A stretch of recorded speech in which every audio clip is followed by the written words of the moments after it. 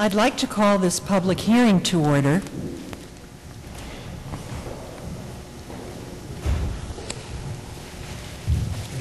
Good evening. Roll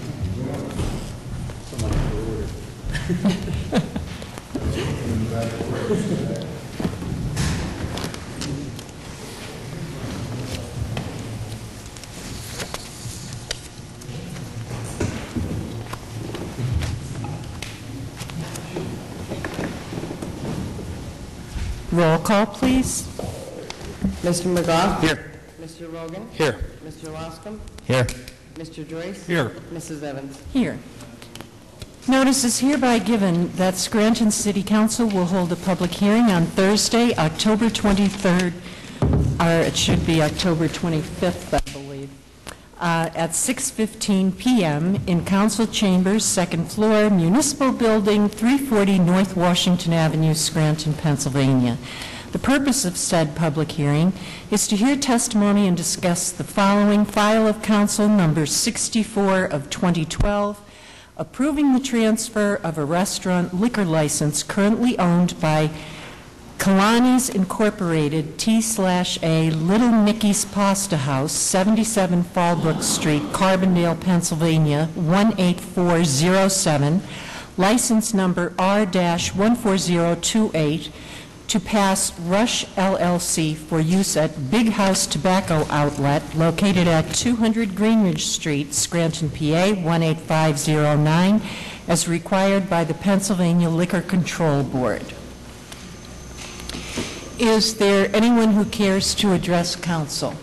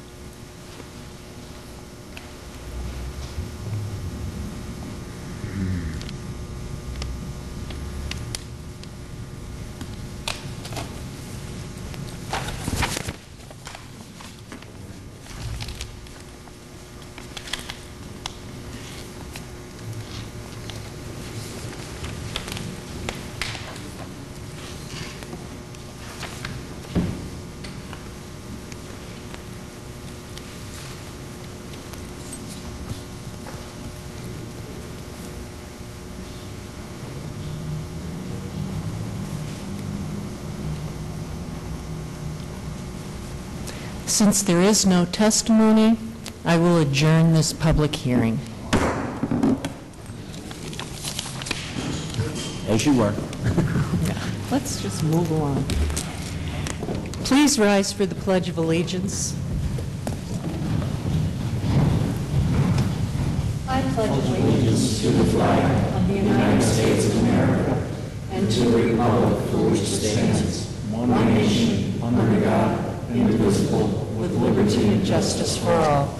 Please remain standing for a moment of reflection for our servicemen and women throughout the world and for all those who have died in the last week, particularly our good friend Paul J. O'Donnell, loving husband, father, grandfather, great-grandfather, and uncle who served in the Marine Reserve, and his dear family and many friends who suffer his loss. Also, please remember in your prayers our friend and dedicated city employee, Deb Torba, who underwent surgery this week.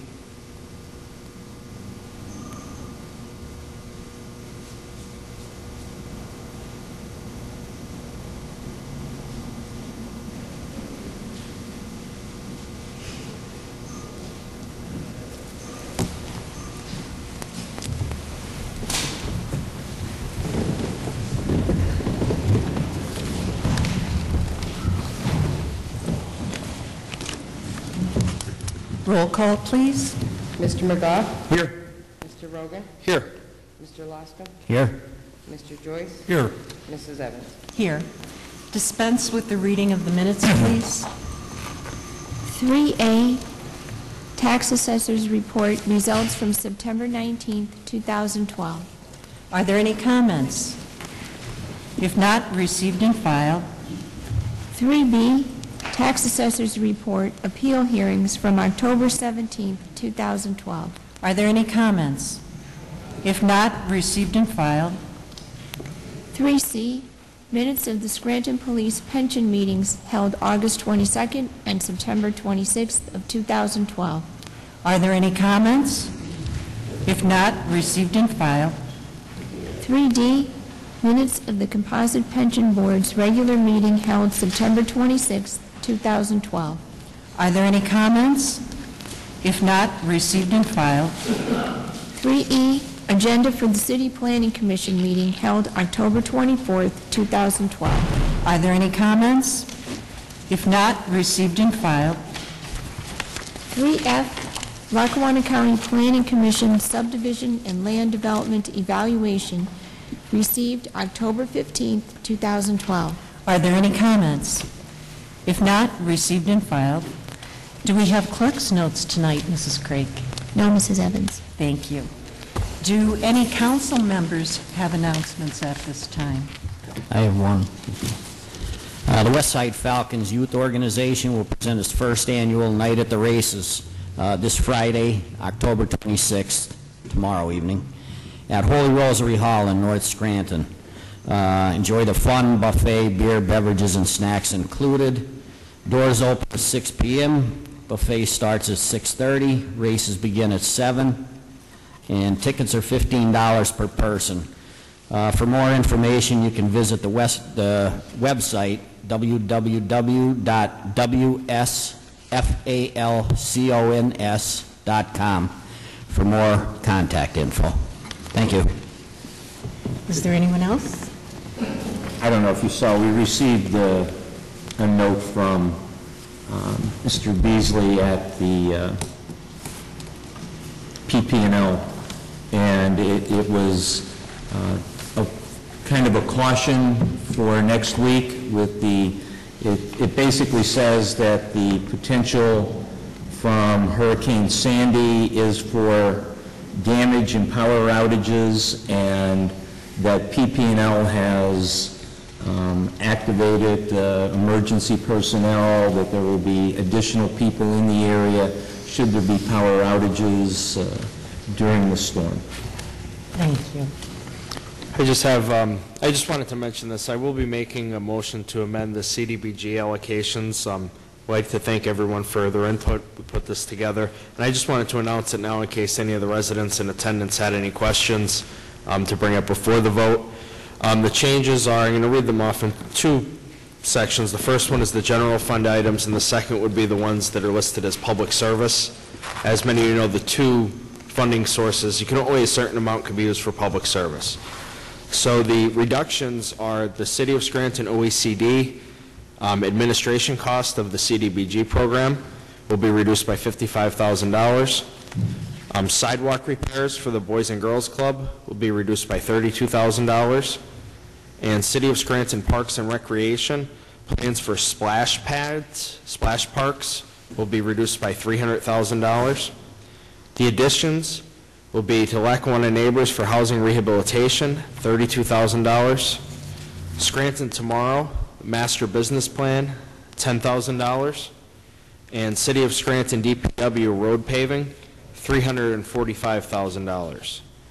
Um, The changes in the public service portion of the funding would be, the reductions would be the United Neighborhood Center SCOLA program, $10,000, and the Deutsch Institute recreation activities by $5,000. The offsetting increases will be for EOTC, the Adult Literacy Program, increased by $5,000, and the NeighborWorks PA Home Ownership Program will be increased by $10,000. And that is all for now. Thank you. Thank you. I'd like to acknowledge and thank Mr. Tom Welby for manning the ECTV camera this evening and making this broadcast possible. The 2012 election is fast approaching. As you go to the polls on November 6th, know that you do not need a photo ID to vote in this election. Please be sure to vote.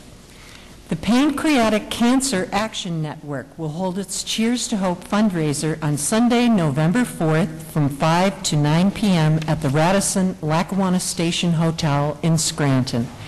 A suggested donation is $35. Live entertainment includes the Fab Three, the East Coast Trio, Angelina, and the Cue Balls.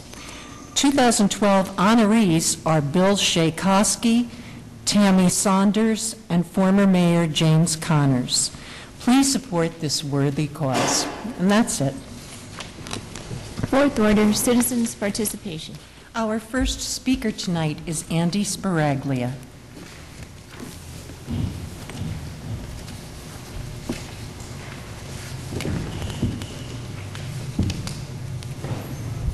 Andy Sbaraglia, Citizens Grant and Fellows Cantonians. Good evening. In our Sunday paper, there was an editorial about the commuter tax, where our dear newspaper decided it was a bad idea. But I'd like to say a little on the reasons they gave. It says, "Council has failed to demonstrate serious seriousness after resisting reform for a decade." You've been there for two years. That decade he was referring to was way back in the beginning. You're right. That council is where we are today, causing all the problems. I wish they gave the names of that council so people can actually see who it was. Okay, they also passed a budget two years ago that reduced taxes in mid-commodity. Commodity. We all know what that calamity was. You had no way of knowing exactly what was happening with the city budget. There was no audit. You voted on a tax decrease without an audit. I can understand that. But who do you blame for us not having an audit at the proper time? The administration. So whatever you want to say, they caused the calamity. Now let's go down there, number two. Rather than striving to cut costs that are driving the city problems, the the government approved a new contract with the public safety employees through 2017. They don't put in that article that they paid $15 million to get that contract. Nobody gives up $15 million like they did without some guarantee. Obviously, that's the reason they got the contract. Whatever you may see, that's what it looks like, and it probably is true. So they paid for their contract. Okay. Council accelerate the crisis of delivery, forcing the default this summer of the Scranton Parking Authority. Com- Commuters who work in downtown pay as much as dollar twenty, uh, $1,200 a year to park in SPA garages. They shouldn't have to bear further costs of council. They use the word misfeasance. They claim that what you did was legal, but it wasn't right. How many days I stood out in the cold waiting to get to our dear council meetings? How many days did I pass through law, uh, metal detectors so I could speak on what was happening on the city? If there was any mis, misfeasance, it should have been with the Scranton Times for not reporting it at that time. Let's go on to another one. According to the Pennsylvania Economy League, more than 70% of city property owners pay less than $500 in property taxes. A commuter earning five, uh, 50000 a year then would pay more in taxes than most city property owners.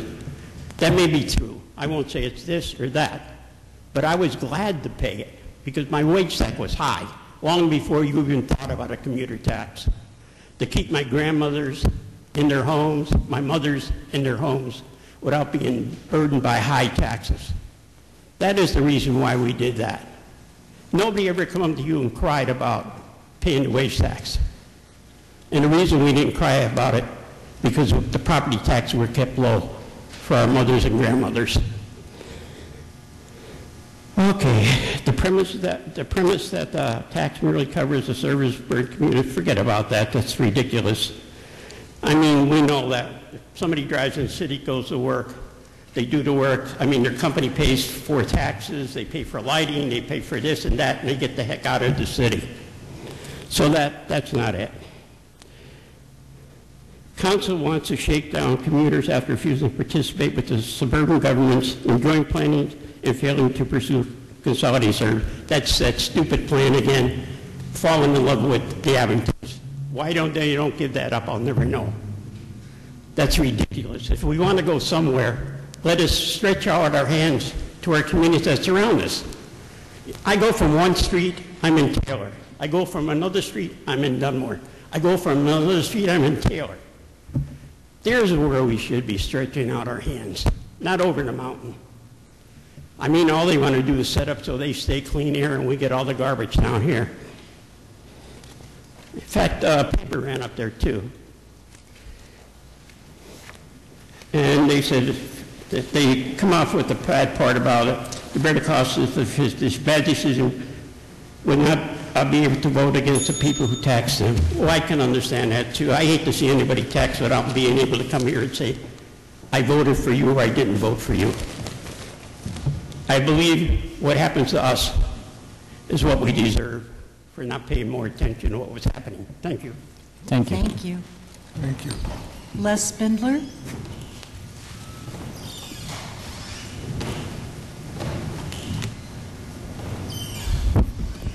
Evening, Council. Les Spindler, city resident, homeowner, taxpayer. Good evening. Good evening. Uh, Last week, Mr. Sbaraglia was talking about the commuter tax and asking if uh, federal judges would be exempt or the local judges would be exempt. and I don't know why anyone be- would be exempt. If you live out of the city and you work here, it doesn't matter if you're a federal judge or whatever, I think you should be paying the tax. Now, uh, I don't know if council looked into that, if Attorney Hughes would know, would, would these judges be exempt? Is that a perk of being a federal judge, or do they have to pay the tax? Well, it appears from um, at least what we've read in uh, a newspaper article, no one is exempt. Okay, thank you. Uh, A bunch of streetlights are out, uh, on the Linden Street Bridge, I have this in writing, I will give it to Ms. Marciano. The Linden Street Bridge in the inbound lanes, the whole, the whole lane, is- the lights are out. And on the McDade Expressway, this has happened before, from 7th Avenue up to Main Avenue, those are all out again. I think they were out once, and I think they fixed them, and I don't, I don't know if it's a line, or, I don't think all the bulbs could be burned out at one time. It's, uh, as I said, from Seventh Avenue up to Main Avenue, and uh, I do have this, I'll give it to Ms. Ms. Marciano. Uh, Moving on, it was nice to see in the paper the other day that the city received $11.3 million. Uh, Hope they'll take care of things for a while, but you know what? We can't keep counting on borrowing. That's what got it into this problem in the first place. Uh, We have to uh, start bringing in different revenue sources. And uh, I have to talk about what Bob Bolus has spoken about for years, and nobody's listened. He brings up that leachate line that runs through the city. Like, like he said, you can put a 1% fee on that.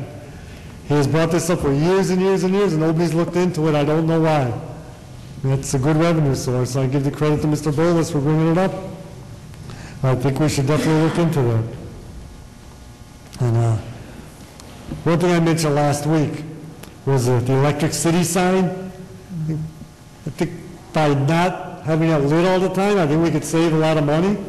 I don't know why that sign has to be lit all night. Who's going to see it at 3 or 4 in the morning? Put it on the timer to go when the sun goes down and have it shut off at midnight or whatever. Or just have it lit on special occasions. Why does it have to be lit all, all through the night? It doesn't make any sense. I would uh, love to know what the electric bill is for that a month too, if council could look into that. Like I said, it it could save a lot of, I don't know why it has to be lit all through the night. I just think it's a waste of money. That sign must use a lot of electricity. Um, Mr. Spindler, if you would give that suggestion also to, Oh, I don't have that in writing. I'll, well, we can give you time, and I'll give you a pen, and, I have a pen. okay. And there is something else, I'll, I'll- I'll write down a couple of things, and I'll, I'll give it to Ms. Marciano. Great. Okay, Thank you for your time, that's all I have. Thank to- you. Thank you. Thank you. Bob Bolus?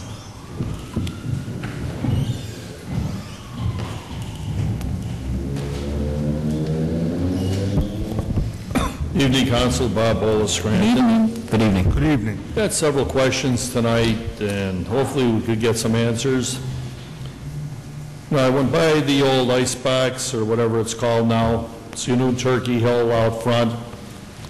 Has anything or any consideration been made to terminate that agreement with them down there? Where we get a dollar a year that the mayor put this stupid agreement together?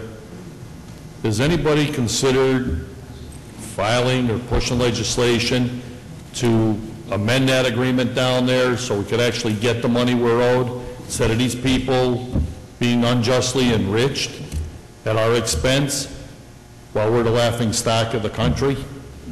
Yet we watch that down there every day while they could lease and they could develop and they could make money. And the next question, is that a tax exempt property down there?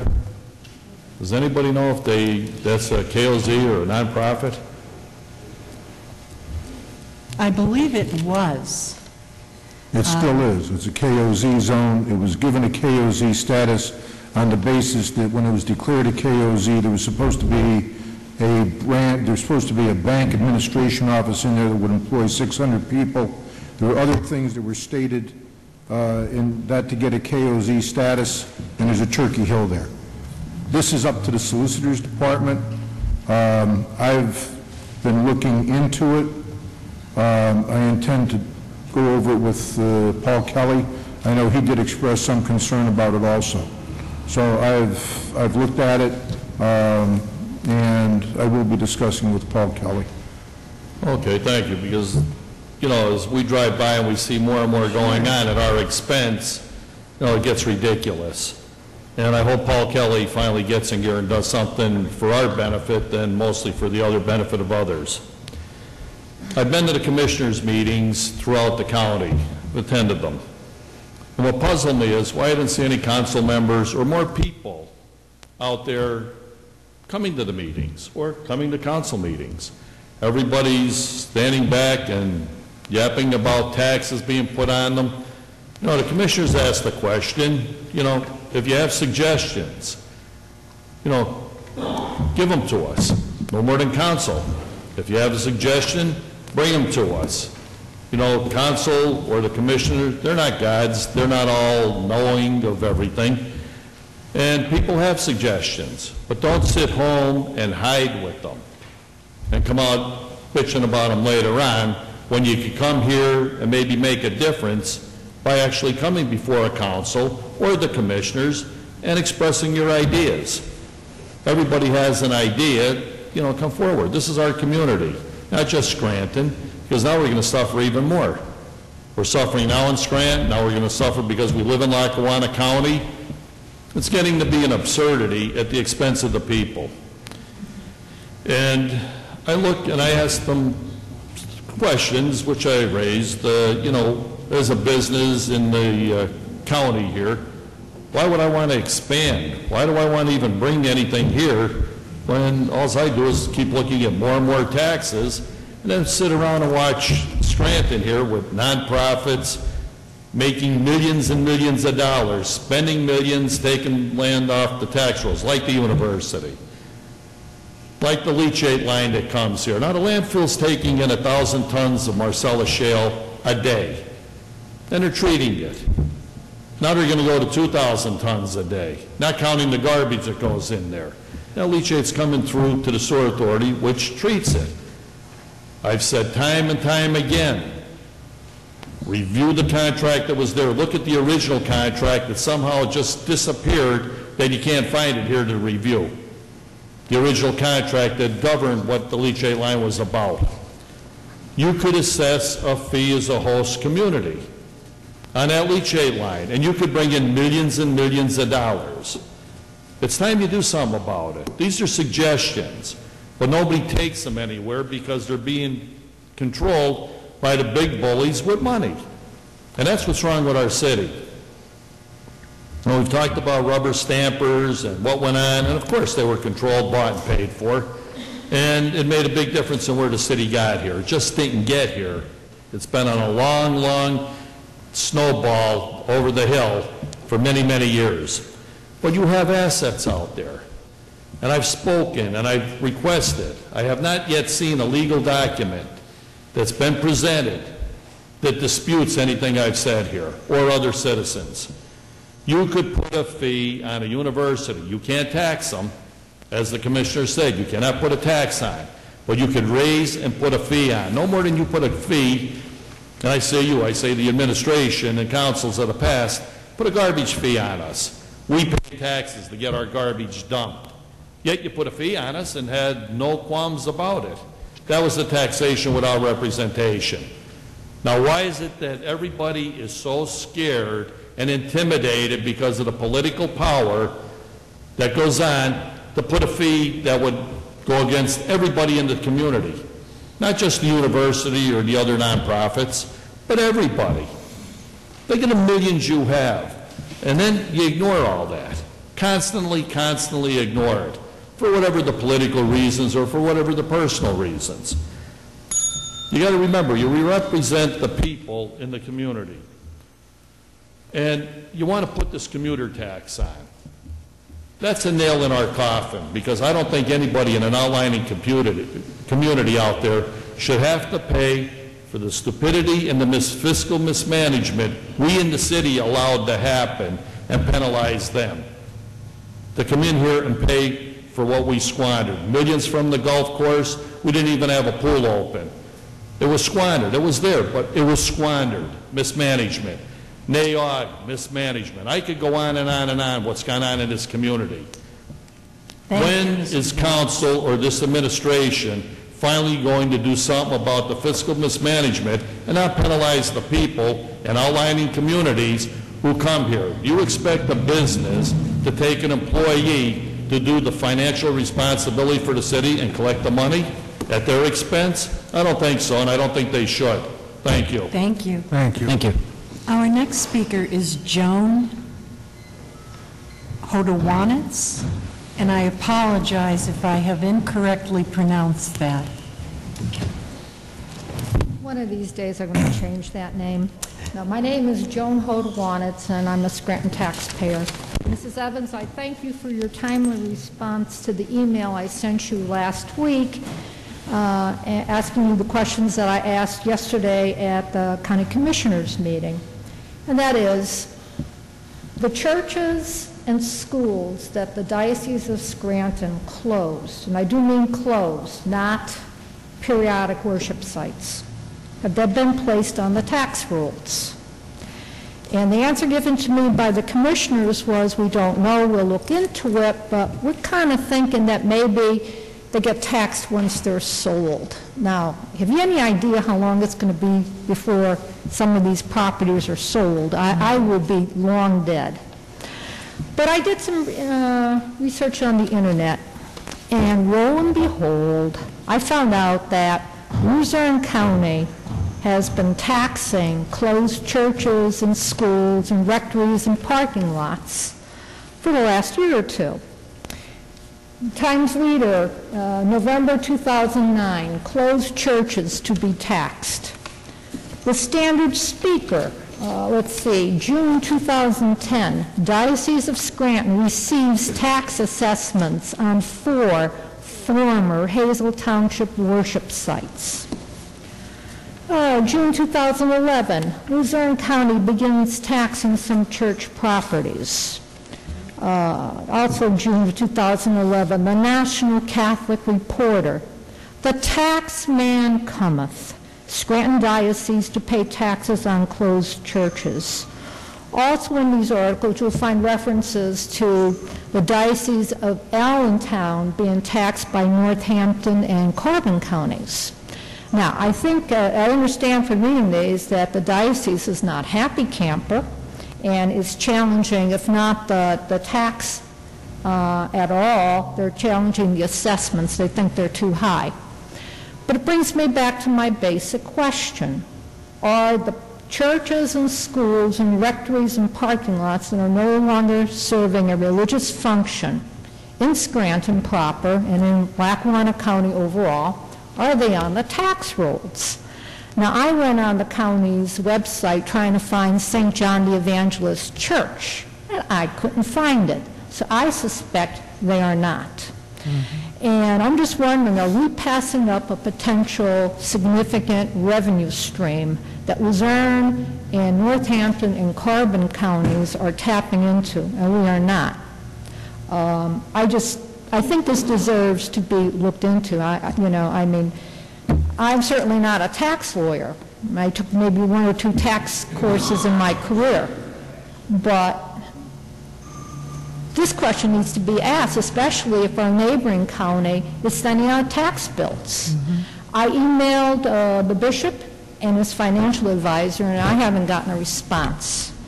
Uh, So I do not intend to drop this. I intend to keep researching this and finding out what's going on. If somebody can show me it is written that they are exempt until they are sold, I'll keep quiet.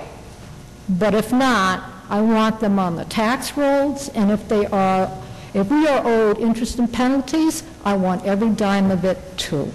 I've been paying taxes since 1967, and if I can arrange to pay my taxes, the diocese can also. Thank you. Thank you. Thank you, Ms. Uh, if I could, just to comment on that, the rule generally is, as long as the building is vacant for one year, mm-hmm. it's not put back on the assessment rolls. However, anytime, once the year is up and it's not sold, it can then be assessed because it's a vacant building and it's no longer used for church purposes. This is not a council issue. No, This is an issue with the Lackawanna County Assessor's Office. and that's where I And was that's, yesterday. that's, they're the ones that have to go out, and they're the ones that have to go out and, and assess the properties. 'Cause- Be it a school, be it a church, no matter what denomination, it's up to them. And that's, that's where it goes. If the commissioners say they don't know what's going on, it's up to them to find out from the assessor's office where it is. Well, that's what they said they were going to do, but I thought you should know, because this could be a potential significant stream of revenue if they need to, because I can tell you, like St. John's the Evangelist on Pittston Avenue, that closed in June of 2010. Okay, that's over two years. Yes. Okay, so I'm sure, I also went on the diocese website and looked at their list of closed churches. Do you know how many churches in Scranton have closed since 2004? No. 11. Since 2009, five.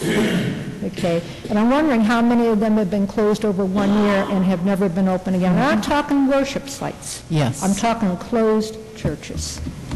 Thank you. Anybody got any idea how much Bishop Hannan should be assessed for? I walk past that every day because I live at the Forum, and believe me, that's closed. Oh, it's been closed many years. Yes, and uh, thank you for your time. And I did receive your email, and I also sent a letter to our tax collector, Bill Courtright, seeing if uh, he knew anything additional about uh, any revenue being collected from churches that are no longer being used as a place of worship. And schools. Uh, Mrs. Crank, could, could we send a letter to county assessor? I I would like to mention, Mrs. Evans, that last summer, we actually, I actually had a meeting in our office with the assessor's office and two of the gentlemen that do their assessment, and at that time, they were going to go out and look at all the properties in the city. Also, our city planner was there, and we have not heard back, but I, I know that you had directed us to do that, and... Yes, and if, that's why I'd like a letter sent to the assessor's office requesting the assessments of all of those properties, the churches, parking lots, social halls, schools.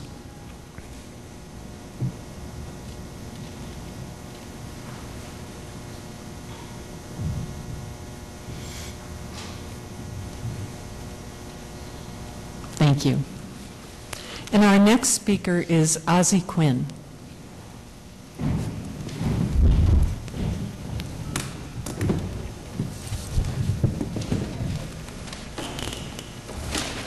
Good evening. Good evening. Ozzie Quinn, Scranton Taxpayers Association. Uh, Attorney Hughes, uh, I really appreciate the work that you've been doing on the recovery plan, and it shows here at every meeting, you know, how much intelligence you have in government, you know? And uh, when I saw where you were trying to get paid above and beyond your contract, and they started throwing everything at you but the kitchen sink, okay?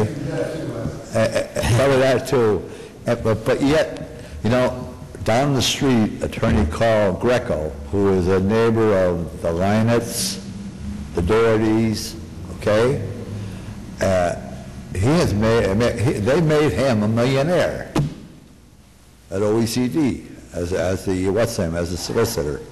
At one time, he, they wouldn't accept what he, what was above beyond his contract, so he filed for court. Of course, they didn't file any, any defense against it, so no cont- contendere, he just got the money, you know? So, uh, it's, it's not right, you know, it's who you know here. A million, a million dollars, that's a lot of money to make around here. You know, uh, I look on, a- on the website, the mayor's website, and he says the major construction, he, he spent $115 million. Uh, infrastructure improvements, $68 million. Downtown revitalization, 26.8. Nay Aug Park, 1.9 million. Neighborhood parks revitalization, 2.25 million. Miscellaneous proposed projects, 0.44 million, for a grand total of $214.4 million. That's a lot of money going out the front door, you know? Since when? 2000, probably, most of it all, as you said last week, 2003 to 2008, when the councils were rubber stamped and everything, you know? Now, Mr. Rogan, I don't see anything in here in community development block grant for housing rehabilitation. When this 7B was introduced, okay, I spoke, I don't know if you were here or not, about uh, the lack of housing rehabilitation money, CDBG, and I gave a- an email, a copy of the email to Jamie in regards from the OEC Director, Linda Aebli, to the effect that she said that there was no money spent, the Doherty administration doesn't spend money, CDBG money on rehousing rehabilitation. Now, you got brownouts in the neighborhood, you got potholes in the neighborhood, you got the, this- the, the the curbs falling apart, the housing falling apart. You know, uh, when what I read tonight, I propose, I recommended that you try to get a consultant on board at OECD to put together an OECD housing rehabilitation program. Now, I don't want to be fed the line, I've, I've been around too long for about the, about the home program and about lack around neighbors, okay? Now, I mean a good comprehensive neighborhood programs, it's like block by block all through, because if we don't, pretty soon, the housing value in the city is going to be so that people won't, people won't be, they'll all be going out to the assessor's office. Yet, I see that you haven't put anything in there for housing rehabilitation. What, what, what was the reasons that uh, Mrs. Aebli gave you? Um, we, I spoke to Ms. Aebli through email and the phone, and actually, we, we asked this, this question, I believe it was three or four weeks ago, right here during a caucus, and what she brought up was, you know, the use of the funds. Um, she brought up, and I, I know you're not gonna like this answer, that the housing rehabilitation has been through Lackawanna Neighbors, and through, basically, they're outsourcing it, so to say. Um, for them to do a consultant, that would be an administrative decision on their part. If they You should make a recommendation, because what you're doing here, you're letting this city fall apart. There's no, there, people are not making money in this city, and they need loans, small interest loans or grants to help them to put a roof, maybe to put some siding or put their porches up on things. My God, you, you know that, you, you drive around Scranton.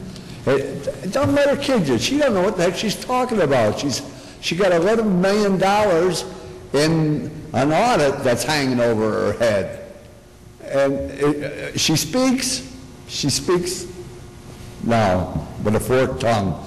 She speaks who's paying her, and I know who's paying her, okay? So, and she's a nice lady and all that, and I have all the respect in the world for her, but uh, we're not doing the right thing for the people in the city of Scranton. You see all this money, I don't know, look, for instance, $16 million went into the Southern, uh, Southern Union uh, headquarters, $16 million, because were going to get the national headquarters here. We got zero, okay? Now, just think though what that would have done if we did some, if we put that into rehabilitation and housing. We gotta start looking at it. We can't, we gotta look at the back porch of things, not just the front porch, okay? Thank you very much, and I don't mean to be a wise guy to you, but, you know. No, I, I agree with you. I that- think, you- you- I hope, I wish you would send out a letter to the mayor and tell him to please, he should know, if he's the mayor for 10 years, what other cities are doing. He'd get, a- he's got his head under the covers. Thank you. Thank you. Thank you. Thank you. And Mr. Quinn, I, I I certainly agree with you, just by walking through a neighborhood or driving through a neighborhood. You're my councilman, we elect you, and I expect something to be done. Well, as far as a position being created, that could only be done by the administration. Well, I expect. You know, they, they receive, and I know they want 20% of the funding of CDBG to go for administration.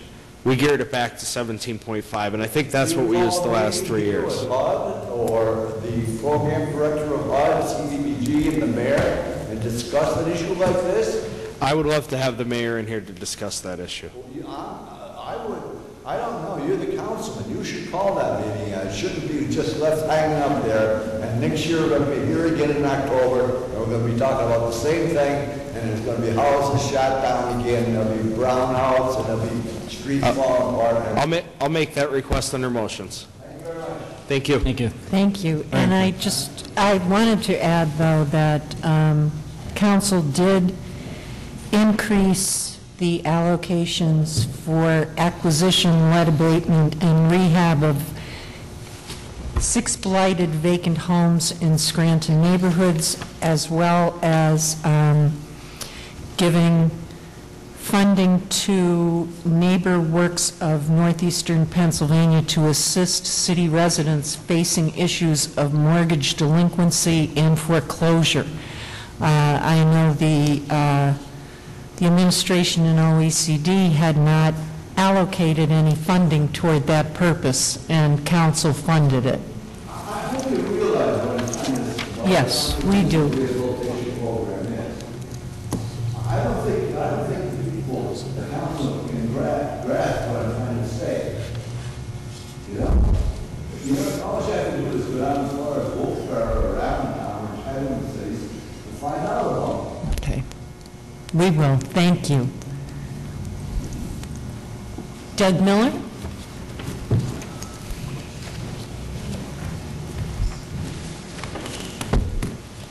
Good evening, Council. Doug Miller, Scranton. Good evening. I, uh, listening to Ozzy here uh, for a few minutes, I I do agree with a lot of what he said tonight, uh, that we do need to turn our attention to the neighborhoods. And we've been talking about that for decades now. It's nothing new. Um, It's a- it's an area where the administration sort of, uh, in their tenure, has swept under the rug, uh, focusing on the downtown. You heard you heard the numbers tonight from Ozzy, the millions invested in the downtown. And certainly when you drive downtown and you look around, um, you kind of ask yourself, where did those millions go? Because it certainly doesn't look like a downtown that uh, an investment was made in. Um, You know, and then when you drive through the neighborhoods and you see the, the homes in deterioration, the roads in deterioration, the curbs and sidewalks, or, or lack of curbs and sidewalks, it certainly makes you open your eyes, and, and you certainly ask yourself a lot of questions, and, and I'm confident uh, with, with the council that we will look in all avenues to make the necessary investments and help those that are struggling. Certainly those that are struggling um, need help, and as a city, whatever we can do to help them, I'm certain that we'll, we'll uh, look at all those avenues. Obviously, there are people that are struggling, and there are legitimate reasons as to why certain properties are in the conditions they're in. Uh, People just can't afford to upkeep them, and and some people need a little assistance, and if we do have that ability, I think we need to pursue it. But I'm hoping within the coming months and and certainly years to come, uh, we will certainly focus our attention on the neighborhoods because that's where it starts, in the neighborhoods, and then you move forward from there. Um, On to the issue that I discussed last week, uh, dealing with public safety and Engine 7 over in West Side. Uh, Just to give everybody an update, I'm sure we're all well aware, it's still closed. Uh, We're now, I believe, two weeks from the meeting that was held over at Keyser Valley where the chief attended and took questions from the uh, audience. 88% of the time in the last three and a half months, that engine's been shut down, uh, jeopardizing the health and safety of all those throughout West Side, including those up on West Mountain, who we know uh, there's a lack of water, and certainly if, uh, God forbid, there were a uh, tragedy up there, um, I think we would have a difficult time responding. Uh, Last night, uh, I was made aware that there was a kitchen fire uh, over off of Crisp Avenue, and I'm told that the response time was approximately nine minutes. And I find that to be totally unacceptable. And I believe that we all should find that to be unacceptable because there's no excuse for it. This goes back to the failure of the mayor and Chief Davis and their inaction to open this station. The chief said it himself. He made the decision to close the engine. Well, if he has the ability to close stations, then as I said last week, he obviously has the ability to reopen stations, and there's no reason why Engine 7 should not be open. There's no justification for it. The excuse that we're worried about two years from now with the SAFER grant, as I said last week, that's absurd. It's absurd to think two years from now, when we need to worry about the present. Here's a, a- a perfect case in point right here, a fire last night that took nine minutes to respond to. And we're going to go ahead and look and, and wait, wait for two years from now? No, we need to worry about today, now. And the fact that we gave three and a half million dollars back, there's no justification for it. Like I said last week, it's stupidity. It's stupidity on Chief Davis's part, and it's stupidity on the mayor's part. We have people making these decisions who have no qualifications whatsoever to determine what stations are closed. I believe the term, uh, the dartboard method's been brought up before. That's exactly what's going on here. It's the dartboard method. Let's sit down. What one do we want to close today? Okay, let's throw the dart. Well, 88% of the time, it's been engine seven, so the dart seems to know where it's going. But it's totally unacceptable. And I encourage all residents in West Side to continue to pursue this issue and, and to hold the mayor accountable, to hold the chief accountable, and demand that this station's open. I'm going to continue to bring this up every week until that's, that engine company's open, because I will not live in West Side and have my life at risk or my fellow West Side neighbors' lives at risk. I will not stand for it, and I expect action to be taken, and I expect to be taken today. Uh, the capital budget, it was addressed last week, and we know with capital budgets, they're simply wish lists, and majority of the time, we we usually don't realize a lot of what we have on our capital budget, because it is a wish list. But I just wanted to bring up one of the points that was made last week. I do agree with council's uh, amendment uh, to the 2013 capital budget, particularly uh, your decision to delete the splash parks uh, in the community. I believe it's at Novembrino Park, uh, Capellas Avenue, and uh, there may have been one more, you might, uh, maybe it was only those two. But I never supported the idea of a splash park. Um, I don't see the, the point of it, the relevance in it. Uh, These pools were built to be just that, swimming pools. I believe the children uh, deserve the opportunity to utilize those pools. And the fact that the kids had to suffer last summer uh, in heat and not be able to uh, utilize those facilities, um, I found that to be uh, irresponsible on the administration's part due to their fiscal mismanagement. And I'm hopeful that next summer, um, the children will be able to utilize those pools, and they will be open, and uh, uh, the taxpayers will get what they pay for. And finally, tonight, on to the uh, the commuter tax. This seems to be a very uh, popular issue right now, uh, certainly a variety of opinions. Um, And as I've stated before, I may sound repetitive at times, but the people need to once again know that these weren't easy decisions that were made throughout the recovery plan process. It took a lot of, excuse me, cooperation between council and the mayor, cooperation that at times we didn't think we would have. But leadership was put forth, and council knew that in order for us to move the city forward and to take the steps necessary, we had to put politics aside in the interest of the taxpayers and co- and work cooperatively with the mayor. And that's exactly what took place. Certainly, many parts of the recovery plan are popular, and I know they're not popular with council, but you had to make those decisions. Raising taxes is not an easy decision to make, especially a year before a reelection. But as I stated, when we, when we're in opposition, with the commuter tax, I think city residents need to recall one thing. By opposing the commuter tax within the city, I think you're essentially asking for an additional tax increase. And I certainly don't think that's something we want to see. So I would just ask those who are in opposition, particularly those outside of the community, it's a three-year plan. We're asking everyone to pay their fair share. You're utilizing our essential services, our roads, our bridges, and our public safety. And as we like to talk about so many times here about paying your fair share, that's exactly what this is. We need to be creative, and we need to be innovative, and it starts here. Thank you. Thank you. Gerard Hetman?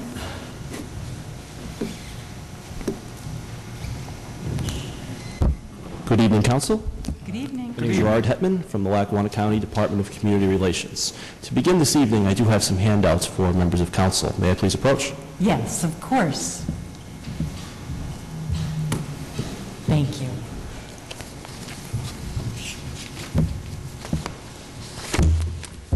As I believe members of council may be aware, the Lackawanna County Commissioners are in the process of crafting, reviewing, and adopting a general fund budget for the year 2013. This evening, with the handout you have in front of you, I will explain and provide some background into two key areas of focus that this budget seeks to address.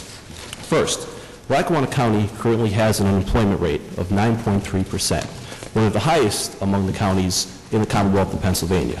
The Lackawanna County Commissioners believe, and we hope you will agree, that this is an unacceptable situation for the residents and taxpayers of Lackawanna County. With this in mind, the Lackawanna County Commissioners, in this current budget cycle, plan to implement a blueprint for job creation with six key points that I will briefly provide some information on. First, a job creation incentive fund will provide a small amount of financial assistance to businesses that are either looking to locate in or for existing businesses to expand their workforce in Lackawanna County, covering the last part of that sometimes very long road in community and economic development and job creation. Second, creation of a life sciences technology corridor will see the county partner with the Commonwealth Medical College, as well as other institutions and businesses already in Lackawanna County, to attract jobs in the medical, scientific research, and bioscience initiatives to keep, as we say, our best and brightest working right here in our communities in Lackawanna County. Third, a community reinvestment fund will help all municipalities in Lackawanna County to pay for some of those small but significant upgrades in our neighborhoods. Sometimes things such as parks and recrea- public recreation opportunities that increase, they may look small, but those things increase our quality of life by leaps and bounds, as I know we can all understand in our neighborhoods. Fourth, high-tech innovation in the form of the countywide wireless network that I spoke about during my last presentation at council, which will be accessible to municipal governments as well as emergency service agencies and to private sector employers who otherwise would have to pay an astronomical amount to implement the same technology and which will save county taxpayers money by replacing existing infrastructure that is paid for through the county budget in terms of county IT and wireless communication. Our merchant revitalization program will help attract retail businesses to downtown Scranton in a partnership with the Greater Scranton Chamber of Commerce. And lastly, infrastructure investment will continue investment into county roads and bridges in our county to help provide and pave the way in terms of the physical infrastructure for commerce to continue, grow, and flourish throughout Lackawanna County.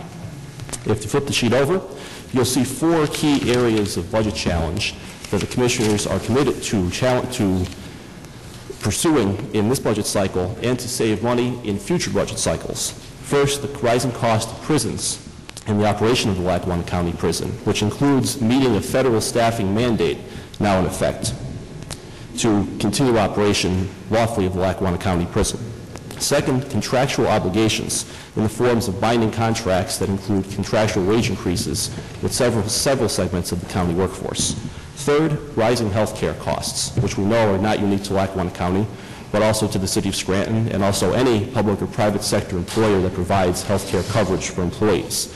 And last but not least, restoring the county's bond rating, credit rating, to a level above junk bond status. And this is, a, in particular, a key point. By restoring the credit rating, which includes both completing the on-time audit, the first time in over 35 years that the county audit has been completed on time, and also the creation of a reserve fund, uh, a budget surplus. That will help restore the county's credit rating to a level above junk bond status, therefore eliminating a $1 million surveillance fee tied to past borrowing because the county's in junk bond status, that fee has to be paid every year.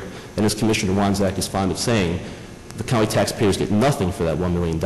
It's just a fee that goes to a credit rating agency, in effect taking the money and burning it uh, right in front of you. So by taking these steps now, we can save that million dollars after this budget cycle for future challenges and therefore reduce the need to pay that fee and eliminate the need to pay that fee in future years.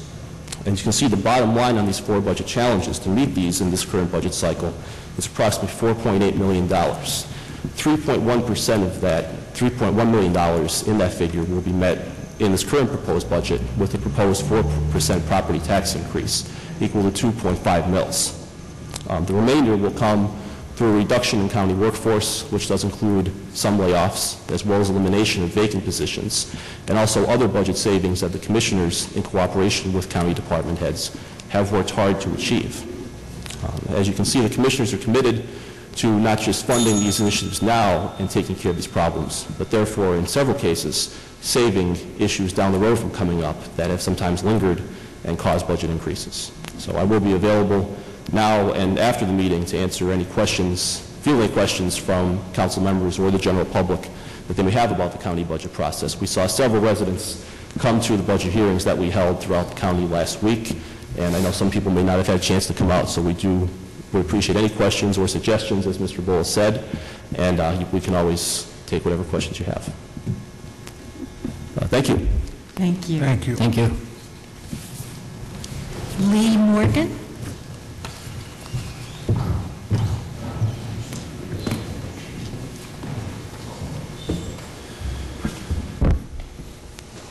Good evening, council. Good evening. Um, As everybody's well aware, I've been coming here a very long time.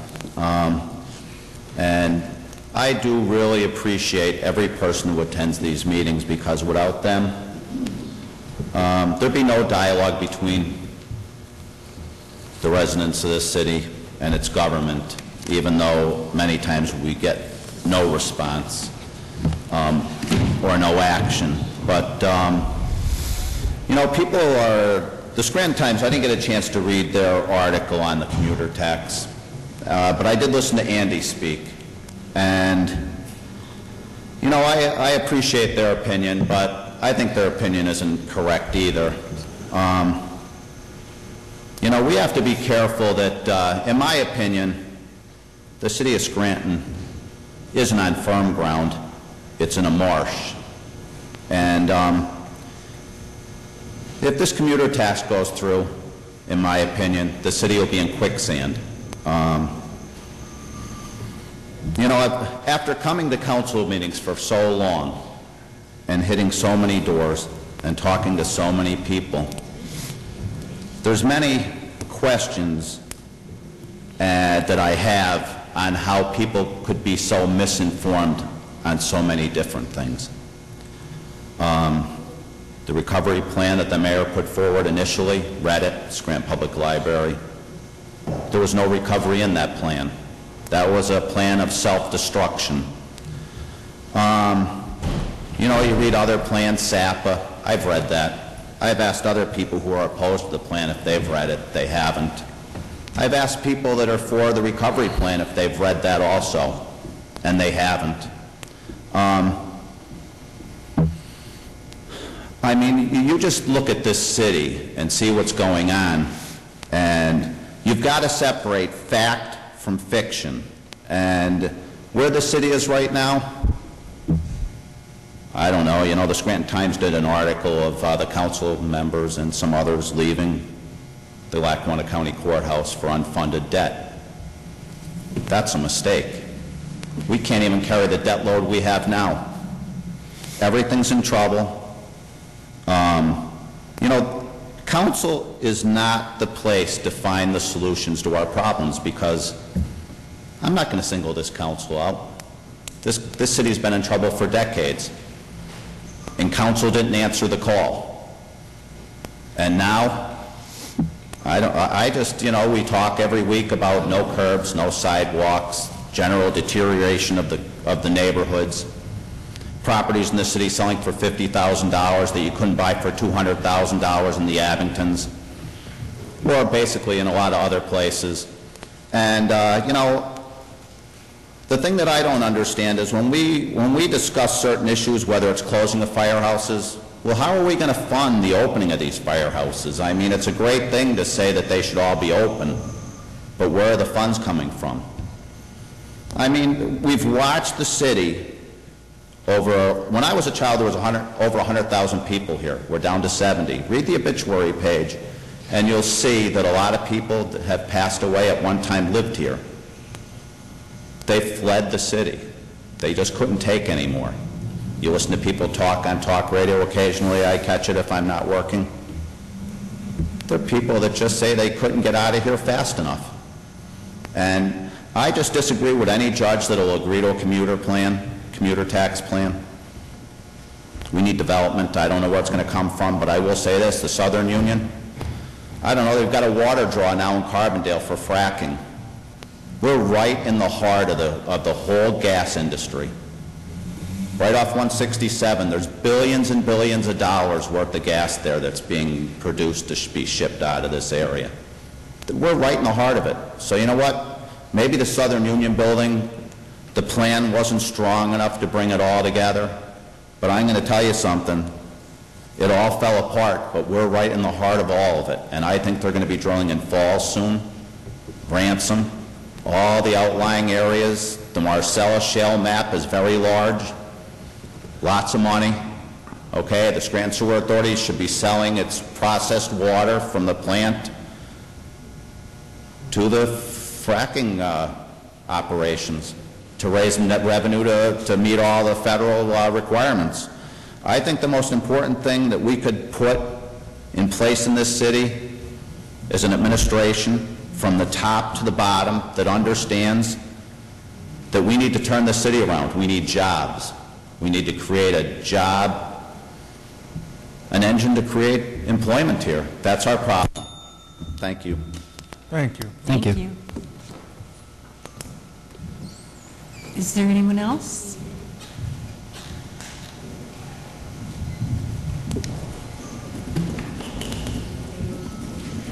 Good evening, Council. Good evening. Dodson, resident of Scranton. Um, I have a question on the 500 block of Lackawanna Avenue. When is that park that we sunk so much money into behind the 500 block of Lackawanna Avenue ever going to open? I- All I see is it's under lock and key. So I don't know if it's ready or if they're trying to get the uh, grass to grow or whatever. But it'd be nice to hear about it. Um, I had a thought on that kids on the expressway for John. Uh, We should notify the schools to at least tell their kids, don't play on the freeway. Their parents might not want them to do that too. Uh, Now, in the paper, Andy mentioned it, tax cuts. Uh, You know, we need to vote a little more carefully because, uh, and get out to vote. I've seen 22% in some districts where I work, precincts where I worked at elections, and, uh, you know, at 22%, maybe people don't deserve a tax cut anyway, you know? They obviously don't care whether they get a tax cut. And once again, I'd love to see some type of uh, study group on zoning to prevent any further tax exemptions, period. Uh, We lost, uh, we got two off the rolls, two were hospitals, they went uh, for profit, which might or might, might not be to your advantage anyway, but uh, being at their hospitals, but uh, also, uh, then there's been some expansions like we have on Linden Street and Adams Avenue. That building, from what I could ascertain, paid about $25,000 a year, give or take a few. And that's, uh, that's where our taxes are going. So uh, we certainly can't, eh, can't afford to wake up at 35% or 34% wake up someday and it's 45 or 50 percent. Uh, We just can't do it. And uh, the Pennsylvania Constitution also provides for uh, the fact that you cannot ask somebody to support a ministry. So if they're running around uh, lobbying for various laws on social issues and so forth, then you are being required through your tax, uh, the lack of taxation on these properties to support a ministry. And it specifically states that you do not have to, you cannot be required to support a ministry. So if they want to preach to their congregation, that's fine, but I see a little too much going on here with, uh, they're outside of their churches preaching at the American public at large and lobbying for uh, laws that may or maybe not shouldn't be passed. And uh, a few, maybe a week or so ago, and it slipped my mind last week, driver's licenses. Uh, Our state senator had some kind of conference on driver's licenses, and from what I could understand, they may go up as high as $130 in five years.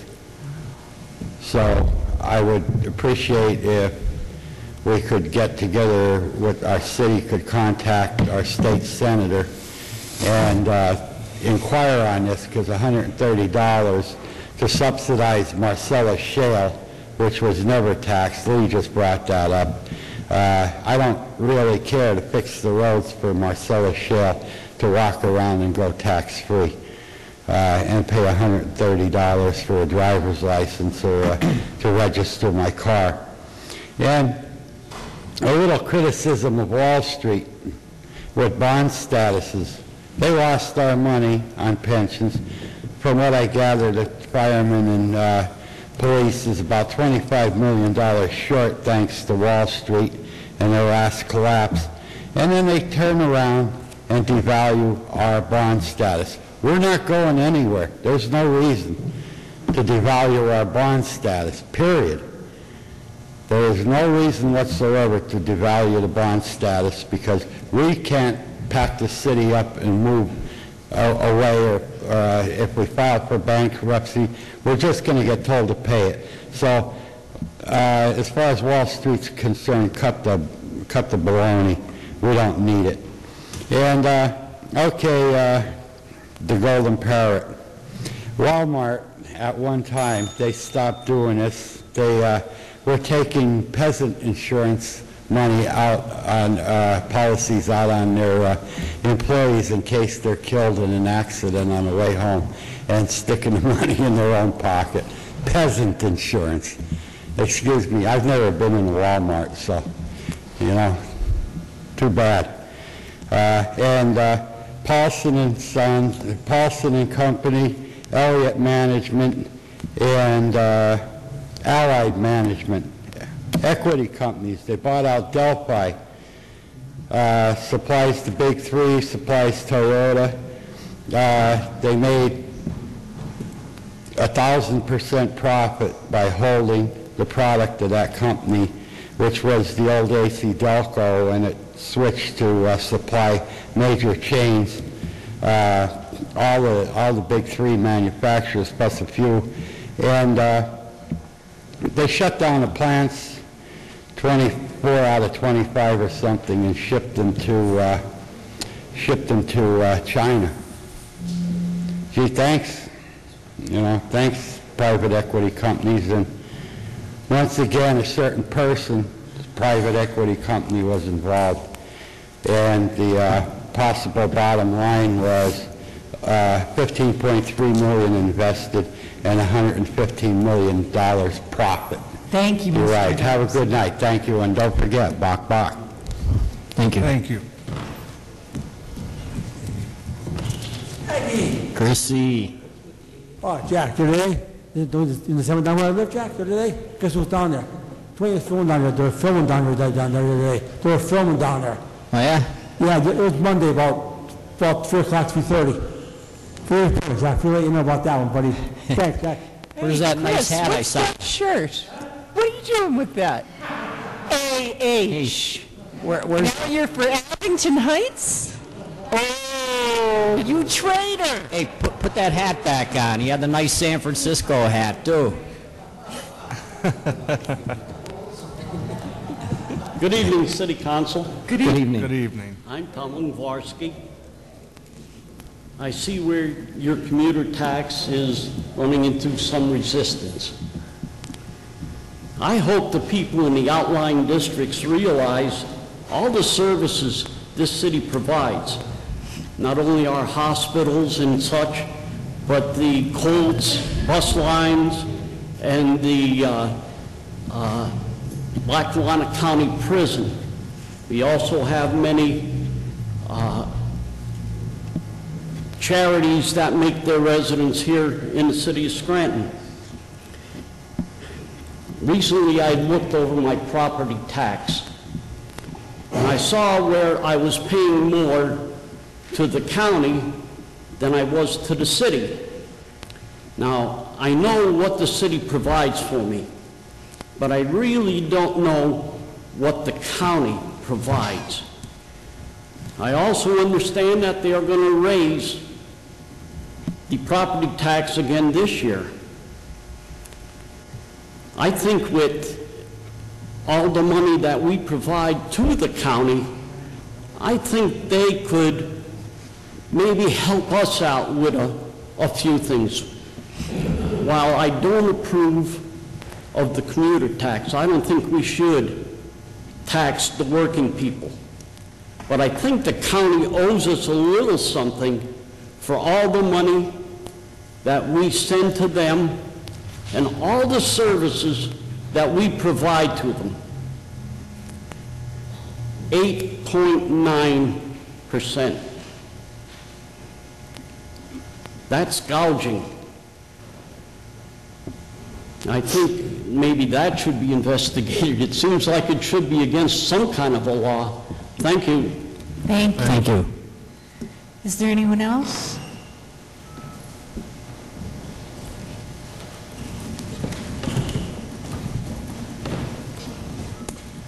Joe Talamini, City of Scranton. Uh, I'll try to be brief. There's a couple of things that I'd like to know. Um, Number one, all the pools, I imagine, but Nay Aug were closed last year, is that what Yes. it was? Yeah. Yes. I wonder if somebody could come up with facts and figures as to how much it would have cost to keep those pools open, and also how much was expended on fireworks displays at Nay Aug Park and in the other parts of the city. And like somebody to come up with those facts and figures for next week, please. And number two, I believe that there's a misinterpretation of a 501c3 with regards to the octopus, uh, the university. Uh, I looked at their website, and they are way over the borders that were allotted them. And uh, from my understanding of 501c3, and I have been involved with them for several years, I don't believe that probably 40 to 50 percent of what they're claiming is tax exempt, is tax exempt. It's got nothing to do with the educational system, it's got nothing to do with the church. Now, I think the housing, especially the housing they've gobbled up on the Hill, etc., I don't think they're tax exempt, I'm sorry. And I think too many people are afraid to take on the university, but, uh, no, you've got to take on the university or the citizenry, and I'd rather take on the university than the citizenry. And Mrs. Evans, you mentioned uh, the election. Uh, The county has already received over 5,000 absentee ballots, so this is going to be a pretty heavy election.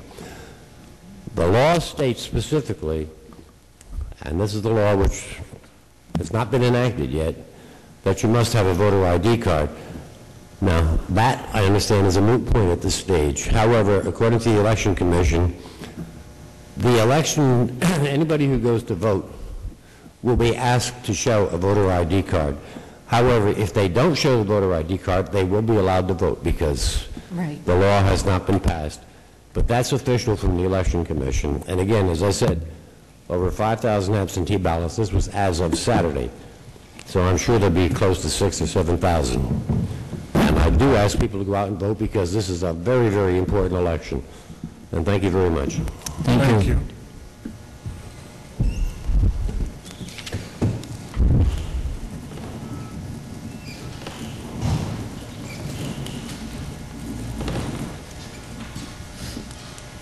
Um, Good evening, council. Marie Schumacher, citizen and taxpayer. Good evening. Good Uh, I guess I'll start where Tom left off. I think that n- almost 9% interest rate on that first unfunded borrowing is pretty staggering, and uh, I can hardly wait to see what the next one's going to be.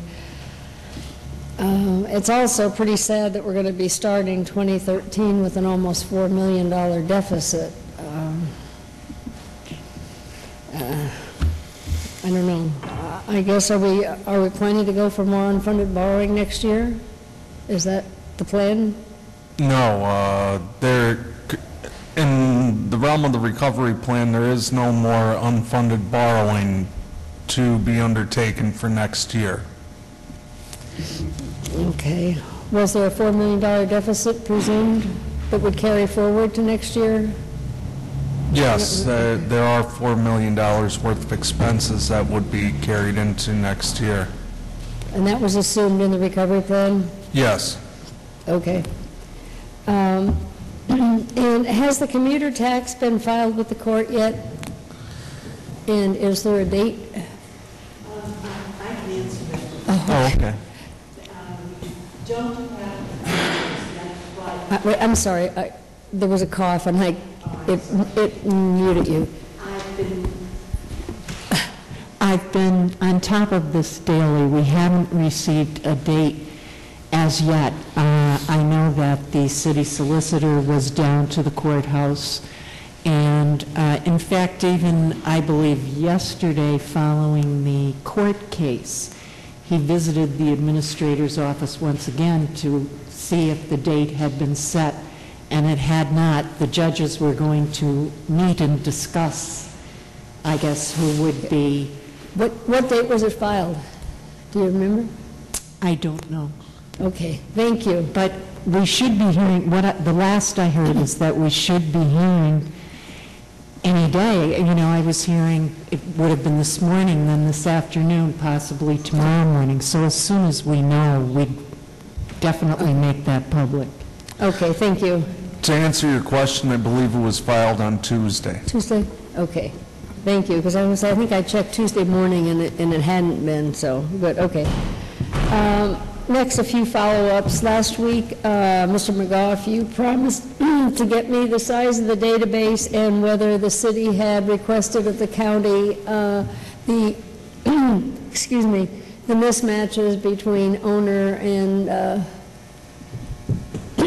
excuse me, I didn't, to answer your question, I I did not. I'm, I'm sorry, I forgot. I I will Okay. write it down this time and Ah. hopefully uh, thank you. remember to do that. Okay.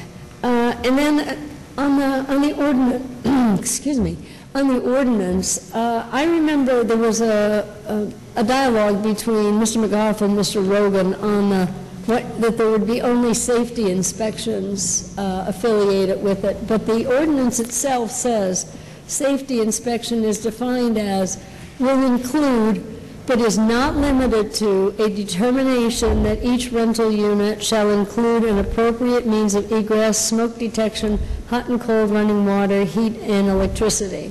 So it is not limited to those items, and um, I wonder why, when that's what was stated publicly.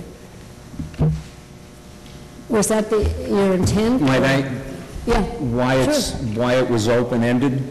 Is that what you're asking? Yeah, when, Um, when the, the- all the dialogue here was Because that it I- was limited. Well, no, I- I, I think we did discuss that at the time, but um, the purpose was that if some, if somebody went for a safety inspection and there were other issues that outside of those five that were mentioned, that they could then contact, you know, one of the city inspectors to have them examined as well.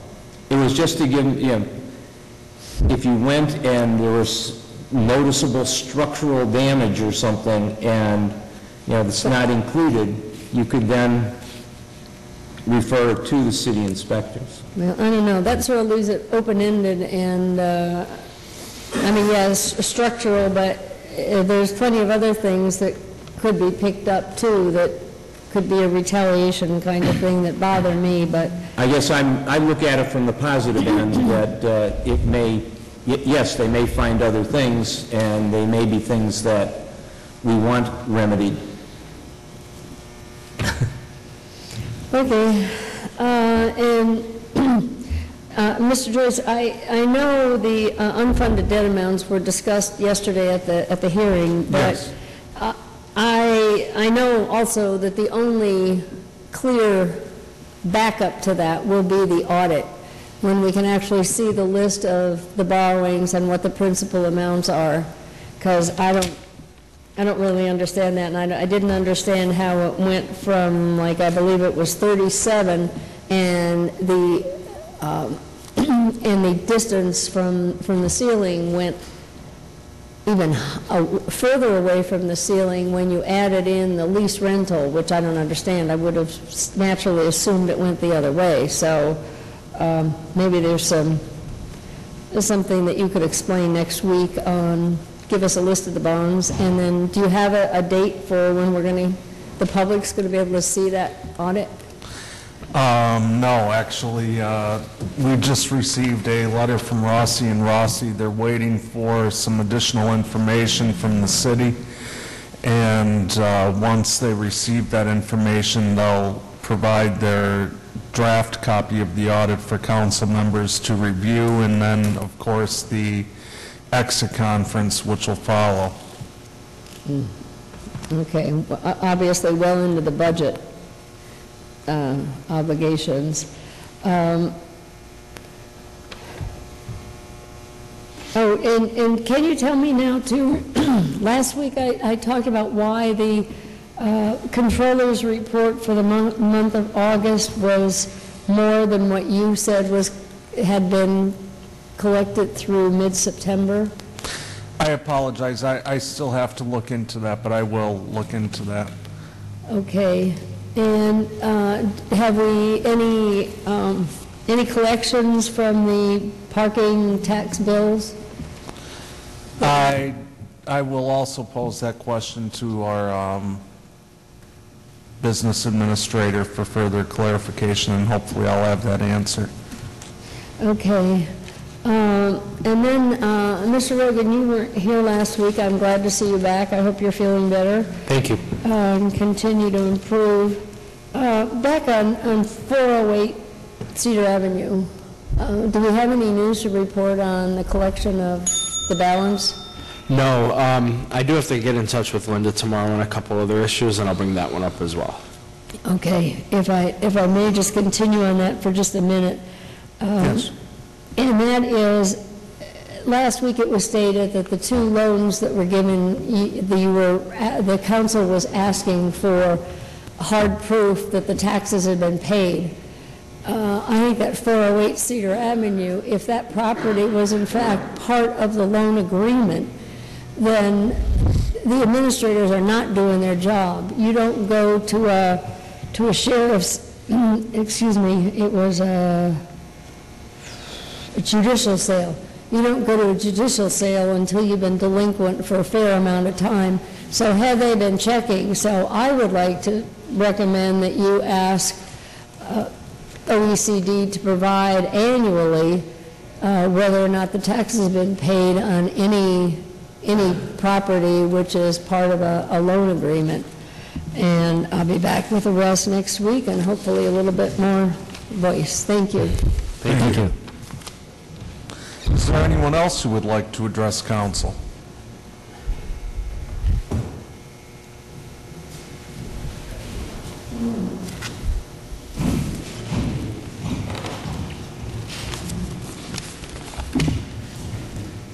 Jack, my friend, I saw you on TV.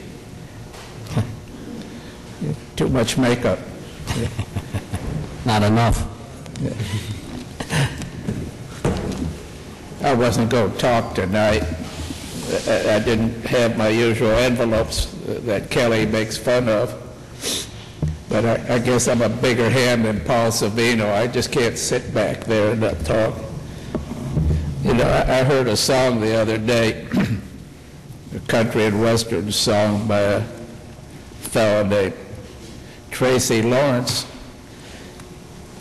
and the name of it was Find Out Who Your Friends Are. And one of the lines in it goes something like, uh, who's going to be there when the well runs dry? You know, that, that pertains to this city. There ju- We just don't have a friend one anywhere. Just, just everybody is fighting us. Nobody, uh, nobody seems to care about our plight with these nonprofits. What's it? It's been 20 years with Act 47, and, and all they've done is employ Mr. Cross. He seems to have a job for life. Uh, PEL is a complete flop, you know, advocating raising taxes.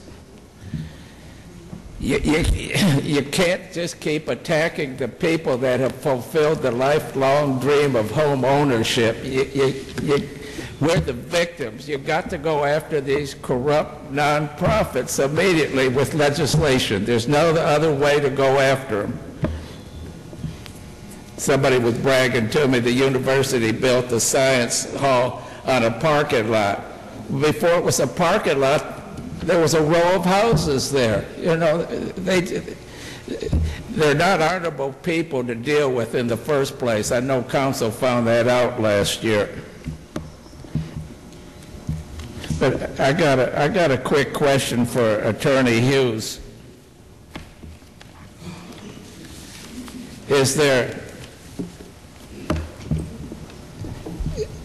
is there some way that the city can petition the county to, to have a small village or something go directly to the city from the whole county ins- instead of trying to uh, get these wage taxes and, and everything else we're doing. That way it would be more money coming in from, from uh, uh, less amount from, from people. I'll let you digest that if, you you know, if you need. I, I- don't know the legalities, that's why I'm asking it, if it was possible to find the, the three commissioners, you know. But They don't answer phone call, Mr. O'Brien didn't want to answer a phone call. But you, you can't pass the city on to your children the way it is. I hear this all the time from people. They don't want to stay here. And we need them. I mean, desperately, for, for taxpayers, if nothing else. I don't know. I- I- Like I've said so many times, I live here by choice. I was talking to a friend in Detroit this very week. You think you've got problems? He he was telling me, he said, "Have you ever seen that hardcore porn?" And I said, "No, I've never watched it, really." He said, "The whole city is like that." He said, "It's just, it's just ungodly, crime-wise and- and tax-wise and everything." I was telling him about the problem here. It reminds me, many years ago, I was telling Father Fanucci the problem with my, my two boys at, at school in Moscow. They just disappear every day. I'd take them, they'd disappear. They'd on the school bus, they disappeared. I gave them a car, they'd disappear. I couldn't get them in school. And he told me, Ronnie, you should go to some homes that I go to and listen to problems about children. Uh, uh, He knew my two boys. He said, they're not a problem. That's what my friend said about Scranton when I was telling him all this. So evidently, he believes there's some light at the end of the tunnel for this city. But I- know y'all are out there like I am. You just don't have enough, as much time to talk to everybody at the grocery store and things. But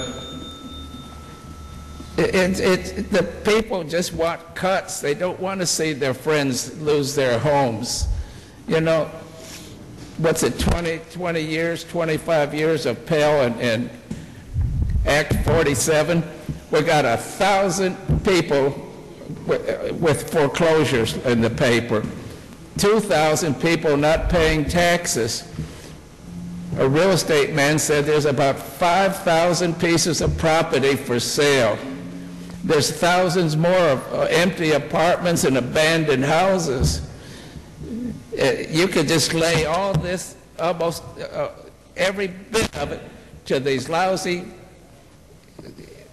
businesses that hide under the guise of, of nonprofit institutions.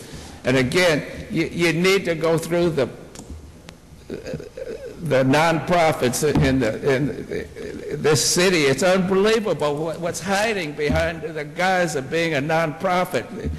Gas stations and bars aren't nonprofits. They're businesses making a lot of money, just like the university is. Thank you. Thank you. Is there anyone else? Mrs. Craig? 5A, motions. Mr. McGoff, do you have any motions or comments tonight? Yes, thank you. Um, First, uh, one of the uh, the the legislation on the big house to tobacco shop, I um, I have a number of questions, and I'm- I understand that uh, Attorney Hughes had gotten some information about it, um, but I I would like to at least pose the questions now, and perhaps when we get to the legislation, um, some of them could be addressed, if not all of them. Um, I was, I was told that at one time, this was a roll-your-own um, c- cigar or cigarette lounge, and that recently the machine, rolling machine, I guess, was confiscated by the state. Um, I don't know if that was for some violation or what the the deal may be. I believe it was a tax issue. Okay. The cigarettes are taxed at a different rate than just buying tobacco. So what happened was, and this, I was speaking to a bunch of neighbors today on this issue actually as well. What the company was doing was people would go in and they would purchase tobacco, and they would purchase filters, and they would purchase tubes, and then they would be allowed to use the machine for free. By purchasing each part individually, they circumvent the cigarette, state cigarette tax. I see. That's why it was repossessed by the state. Okay, so it was- it's one question answered, but it it certainly leads to some other questions if they were doing that to evade paying taxes, um, or having their customers pay. Uh, The other thing I was told was that uh, when this was introduced last week, that they, the place began remodeling, and that uh, no, no visible permits for, for the remodeling. I think that we should, you know, see if that's taking place, uh, or whether they have received permits, or whether they need to have permits. Um, Also, I was told that it- they were talking about it being a, selling food, but yet I'm told there's no commercial kitchen in the building. So I don't know how much food they would be providing um, as a a restaurant or a lounge. Uh, I have some questions about parking, uh, availability, if- it was in fact going to be a a restaurant or a lounge. Um, And and I guess the, the conclusion that I was coming to is that this, this was starting to sound from some of the things that were said, this was starting to sound more like a package store as opposed to a restaurant. That this was going to be a place where they sold cigarettes and six-packs, um, which I don't know if that's something that we want, or, you know, that I would be in favor of doing. Um, So just some questions, uh, and when we get to the legislation, perhaps we can discuss them. Uh, The second thing I wanted to mention was... You want me to comment now? Yes. I- If you, Yeah. if it's easier now. This is a restaurant license.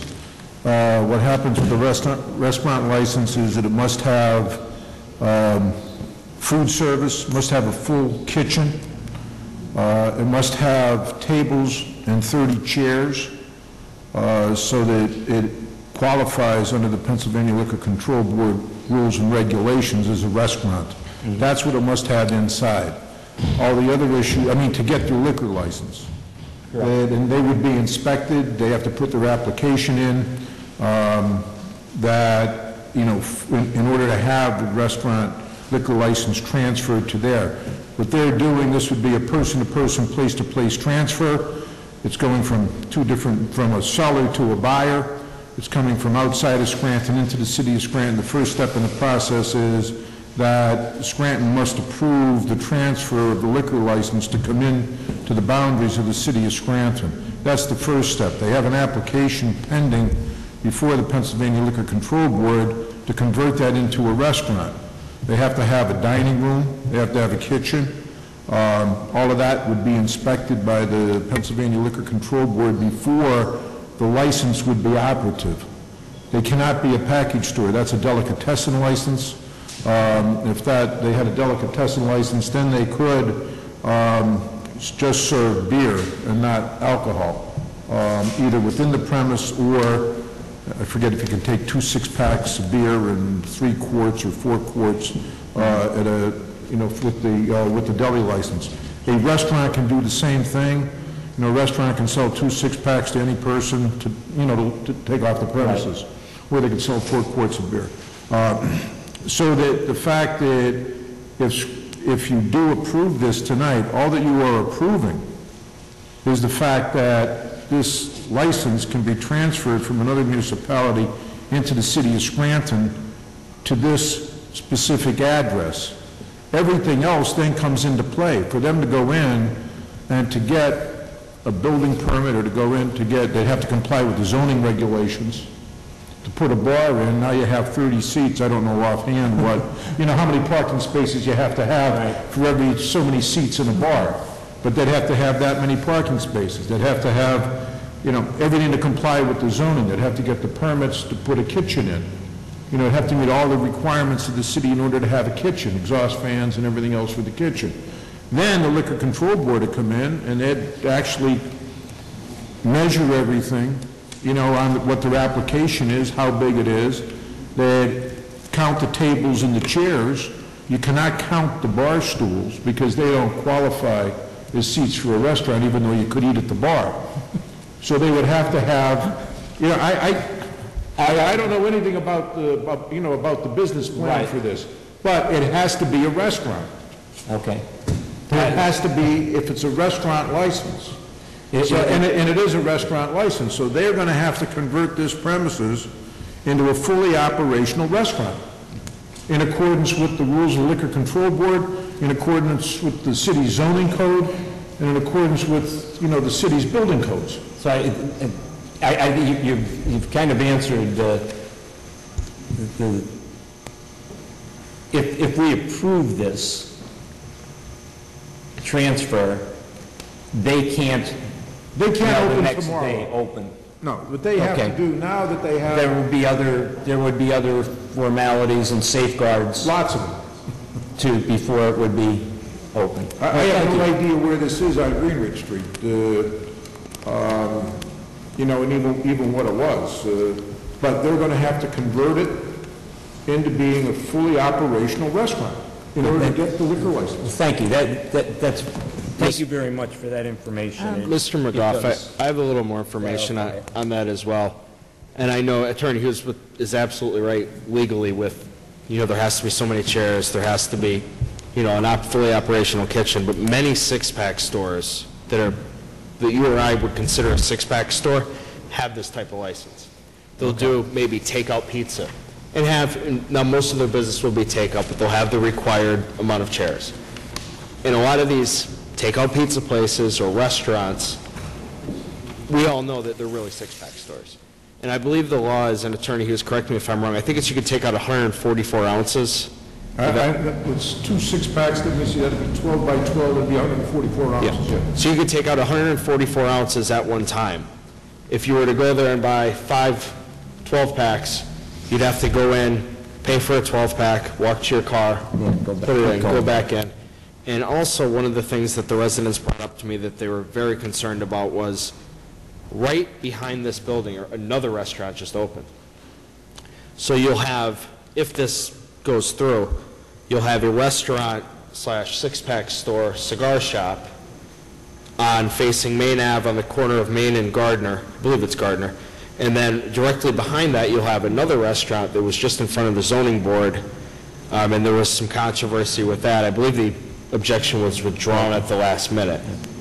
Um, You would have that restaurant right there, and there was issues with parking already, and I I know from, 'cause I I drive past this location all the time, there's very little parking there, but I'm sorry to butt in, we can discuss that's this more, fine. we can discuss this more when we get to... That's to fine. vote. Uh, More This is information, the 200 better. Greenridge Street. So it must be down by the Price Chopper somewhere in that area? I don't, 200 Greenridge Street, Yeah, by- it's uh, by the Giant Market. by the Giant, yeah. Yeah, I know, yeah, it's right on the corner of um, it- the CVS Giant, right, it's right, um, right on Greenwood Street there. So there- there's no parking on Greenwood Street in that area, and there's a small lot off to the side. But again, the parking's an issue for zoning, it's not for, an issue for us. No, that, that's for zoning and, you know, for the building permits and Yeah. everything else, but the, the thing is that if they have a fully operational restaurant, then they can have takeout food and everything else. Yeah. Uh, And they can sell up to two six-packs of beer, uh, you know, to go, but they're gonna have to have thirty seats in that restaurant. It's gonna have to be a fully operational restaurant. Yeah. Uh, If, if I could inject, um, Attorney Francis O'Brien, who represents uh, Big House Tobacco, called our office this afternoon in response to our earlier request, and he informed us that his client, Big House Tobacco, will be complying with all Pennsylvania Liquor Control Board regulations as they move forward in the application process for a liquor license. He's available for any questions council may have. In addition, Attorney O'Brien said he is a former solicitor for the State Liquor Control Board, and that this is the only type of work he handles. As, as I mentioned before, legally, there- there's, I'm not questioning whether it's legal or not, because there's just a way to get around of having a restaurant license, yeah, it's the intent, because a lot of, it's mostly pizza shops um, that do, or sometimes even convenience stores, you'll go in and you'll see a bunch of chairs in the middle of a convenience store, they'll have a kitchen, they'll sell hoagies, they'll have a menu, but we all know 90% of the business coming out of there is liquor, or not, not liquor, it's beer. Good sandwiches. Boar's Head roast beef, right? I'm sorry, but Um, uh, Well, thank you for all of the input. Uh, The other thing I wanted to, and it was made mention of here, was the, uh, and and I don't often mention the newspaper, Um, other people have that fight, Um, but I read the the Times editorial on the commuter tax, and, and I will say that, you know, I, I was in partial agreement with much of what they said, especially the, the section on the alternative, uh, alternatives to the commuter tax. The problem is that the editorial never said that these were things that we have already considered. You know, everything that they had as a solution or an alternative was something that's already been discussed. And most of what they put in as alternatives were third-party, you know, required third-party reliance. Is the state going to restructure um, how the schools are funded? And been talking about it for decades. I don't think that's going to happen. You know, is the state going to approve a sales tax? I don't know. You know, that's something that they've put off at least until next year. You know, so all of these things that the editorial included were already things that we've discussed and, and realized that we cannot rely on those going forward. And we needed to create an alternative. And the alternative is this commuter tax. And, and the other thing I wanted to say on the commuter tax is that um, in, in doing this, one of the things that people need to consider is the demographics of the city of Scranton. it's somewhere, the average age of a citizen in the city of Scranton is somewhere over 60. Many of them retired. I'd love to see the percentage of people, citizens that are actually retired. I'm, I'm sure it's pretty high. So we're talking about people on fixed incomes, you know, be, looking at having what could be onerous tax increases. On the other hand, you have a population that many have moved out of the city, gone to outlying communities, and yet work in the city. They come to the city of Scranton to make their money. They come to the city of, when they come here to make their money, they rely on the services that are provided. And I think that there should be some responsibility there. Um, And again, as somebody mentioned, this is not, you know, this is not an, a forever situation. The commuter tax has to be approved yearly. And uh, I would hope that after one year it was gone. But at this time, I firmly believe that this is something that the city of Scranton needs. I think it's something that, if you looked at it logically, um, yes, is it a burden on some people? Absolutely. But we all face a burden. And the other thing, the city, the city of Scranton is the focal point of the entire area. And many people in this Lackawanna County and surrounding counties depend upon the city of Scranton for their livelihood and, and for many of the services that they receive. And I would hope that people realize that and, and that while there may be some opposition to this commuter tax, I would hope that people understand the reasons why we are looking to implement it. Um, And one very last thing, uh, as far as I know, the fireworks that were um, at Nay Aug this past year were at no cost to the city, they were all sponsored. I may be wrong, but it- that was, the last I checked, that was the case. And that's all. Thank you very much. Thank you, Mr. McGoff, and I, I echo all of your comments regarding the commuter tax. The only thing I'd like to add, though, about uh, the editorial was the fact that it focuses only on city council, as if city council solely governs the city of Scranton. I wish that were the case.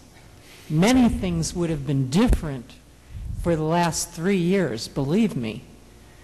But the fact of the matter is, this is a joint effort between the mayor and his administration and Scranton City Council. And PEL and DCED provide their input. And in fact, they approved that revised recovery plan. So to single out Scranton City Council and say, this is all you, and look what you're doing, you know,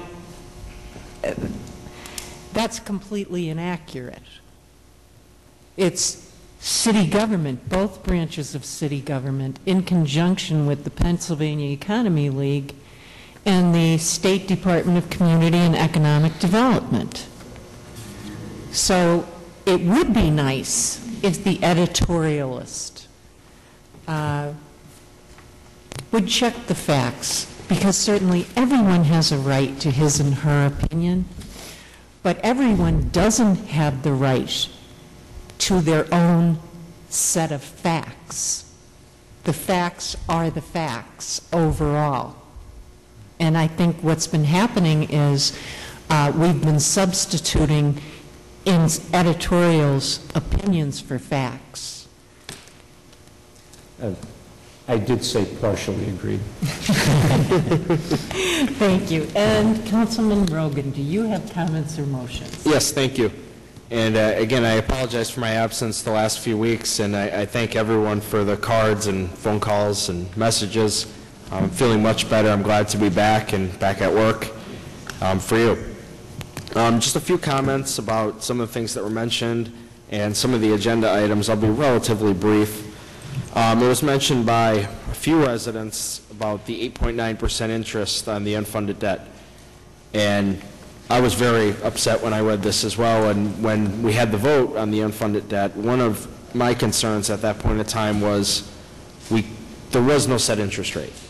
It's, the vote is first, and then you find out the details later. That's a big part of the reason why I opposed it.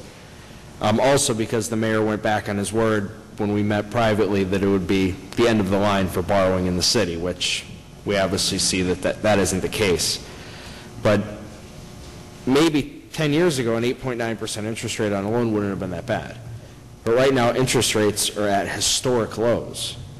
Um, As somebody who's looking to purchase a home in the city of Scranton, when you put in different banks looking for an interest, you know, for, for a mortgage, and you're getting interest rates at 3.5 to 4%, as an individual who has very few assets, other than maybe a vehicle, and then you have a city who's getting interest rates of 9%, it, it seems out of whack, especially with how relatively low interest rates are in general.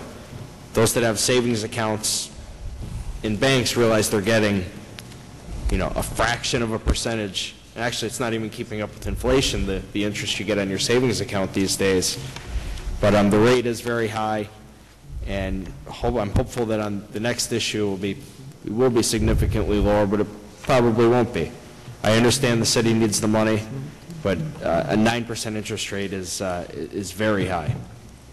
Um, A bit of better news, I heard um, from talking to a few, few people today that um, Kevin Conway will be um, working for the parking, parking authority under central parking, and he worked for, uh, from what I hear from Mayor Connors, and he did an excellent job um, when he was working with, uh, under Mayor Connors. I've heard nothing, I haven't met him yet, but I've heard nothing but positive things about him, and, and I'm hopeful that things will move in the right direction with the parking authority.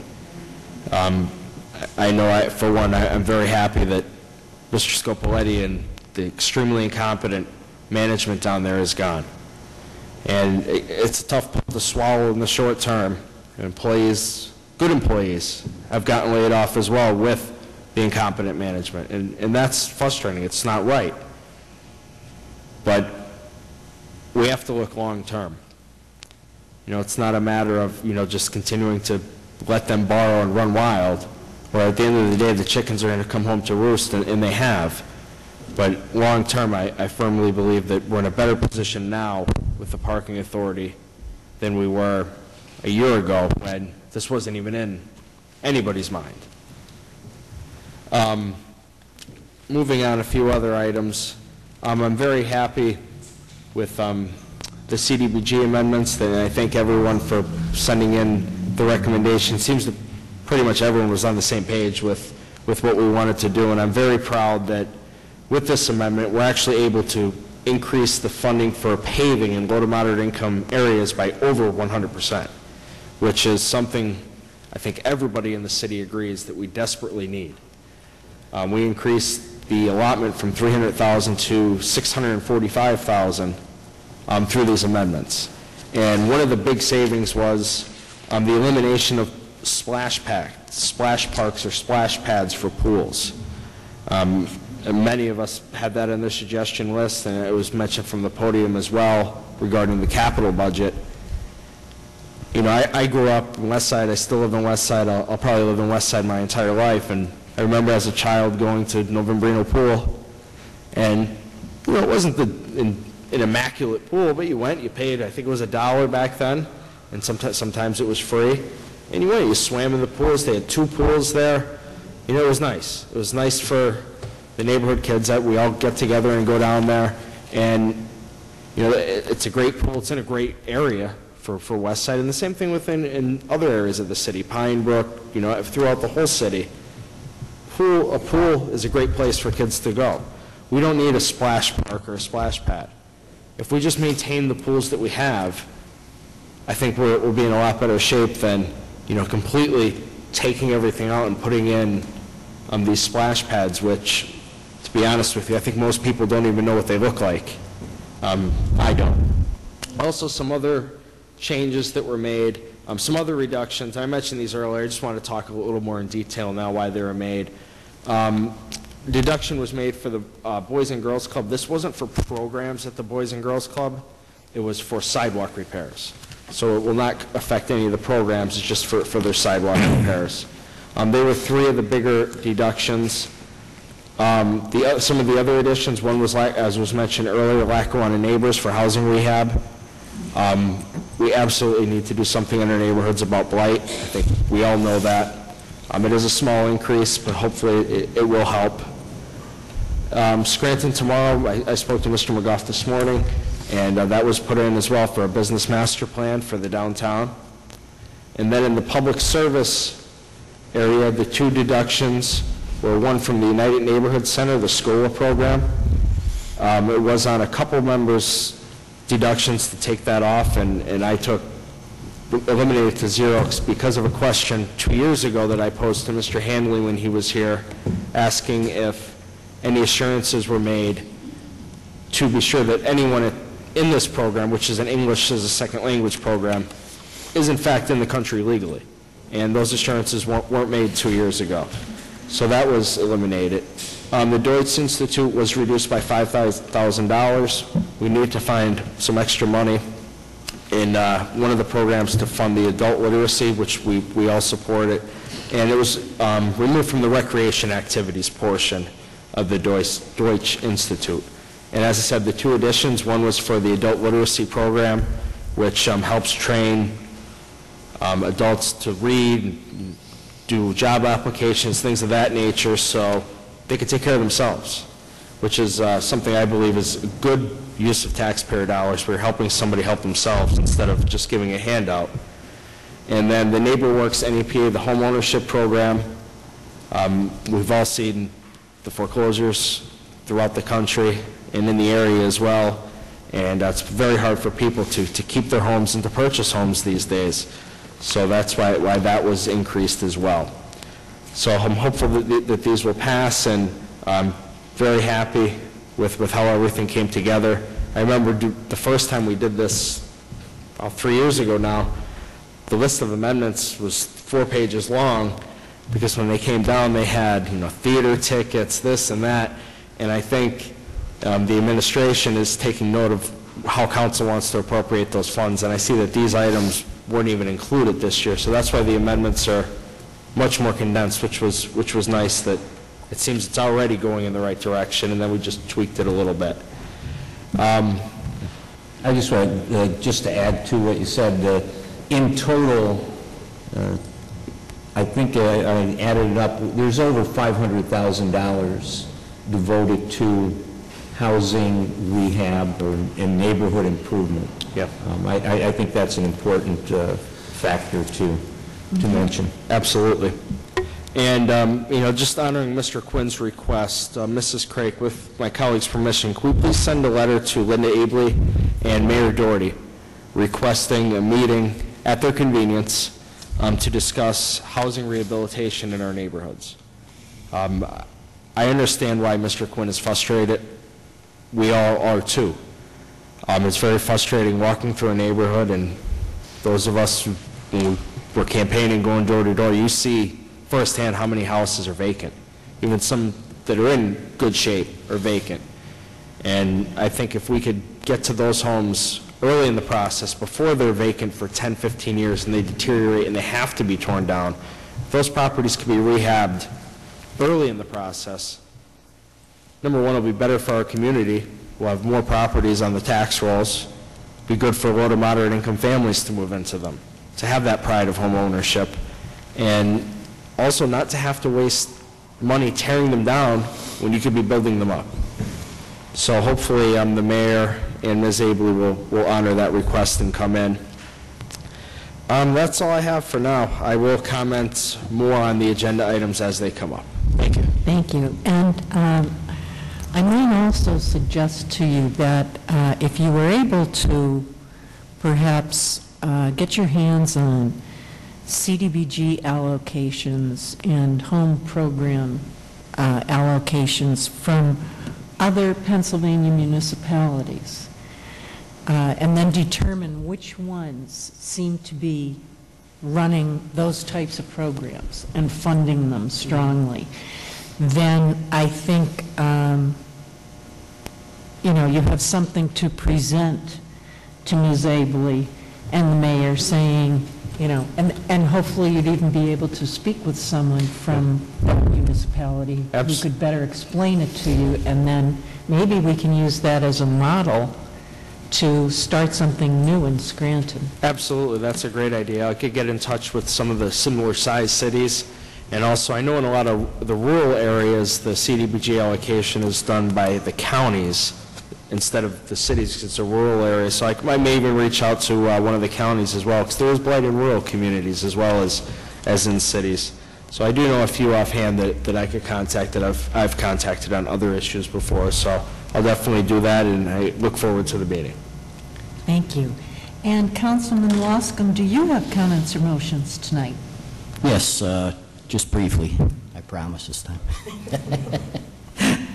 Uh, I I really wasn't going to make any comments, but I do have to agree with Mr. McGoff and uh, Mrs. Evans regarding the commuter tax. Uh, I think we feel the same way.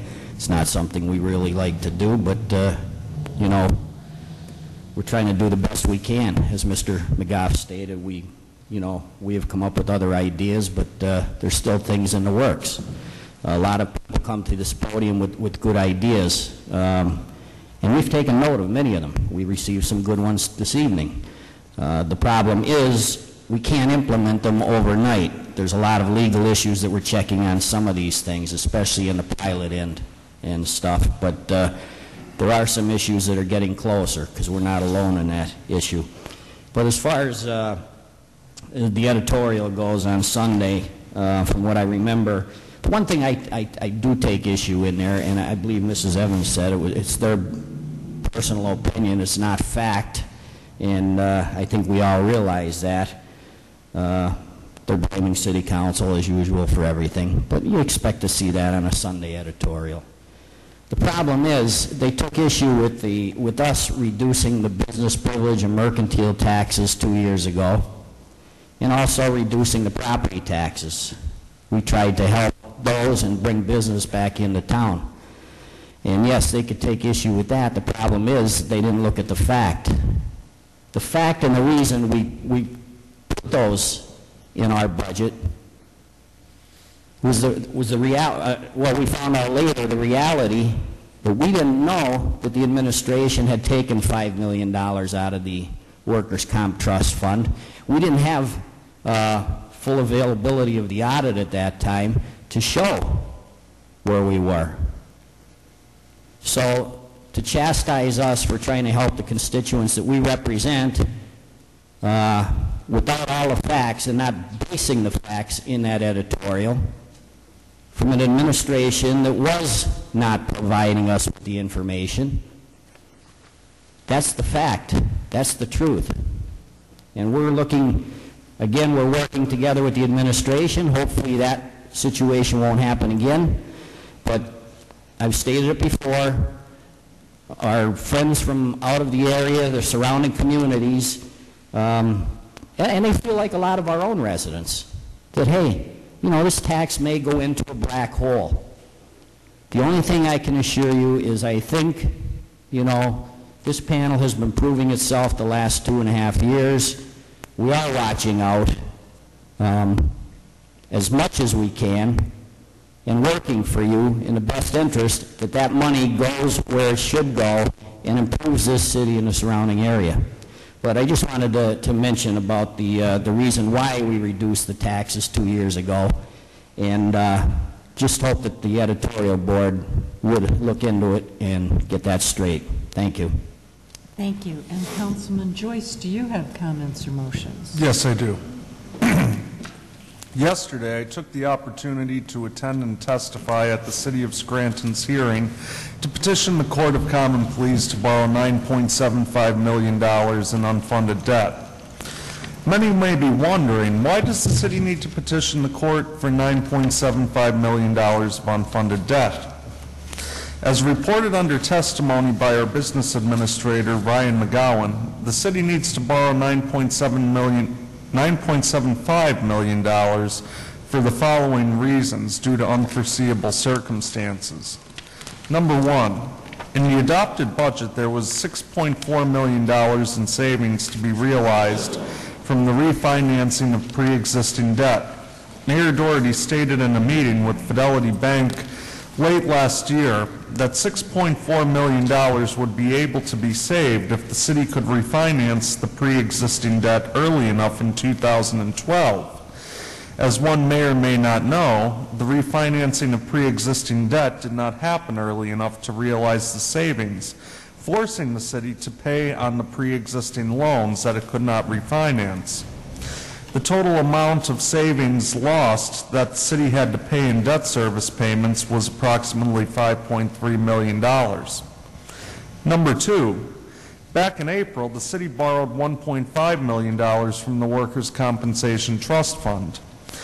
In case one does not, er, in case one is not familiar with the Workers' Compensation Trust Fund rules and regulations, as part of the agreement, the Workers' Compensation Trust Fund must be funded 75% in order to be compliant with the trust agreement. Before the borrowing of $1.5 million from the fund, it was compliant with the 75% funded threshold. After the $1.5 million was borrowed from the trust fund, subsequently, as one could predict, the fund was $1.5 million short. Originally, the $1.5 million was repaid back, or was to be repaid back to the Workers' Compensation Trust Fund on May 31st of this year.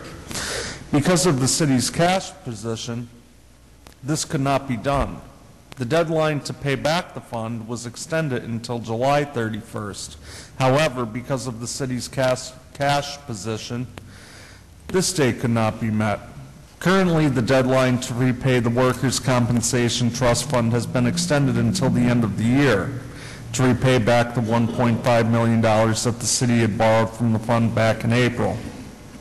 Number three, Due to the October 2011 State Supreme Court Arbitration Award, which was ruled in favor of the fire and police unions, there are certain requirements as to how many police officers are to be working on a shift at all times. The city failed to budget properly for this requirement. As a result, as reported by Business Administrator Ryan McGowan, the city is expected to have an overage of $800,000 in police overtime by the end of the year.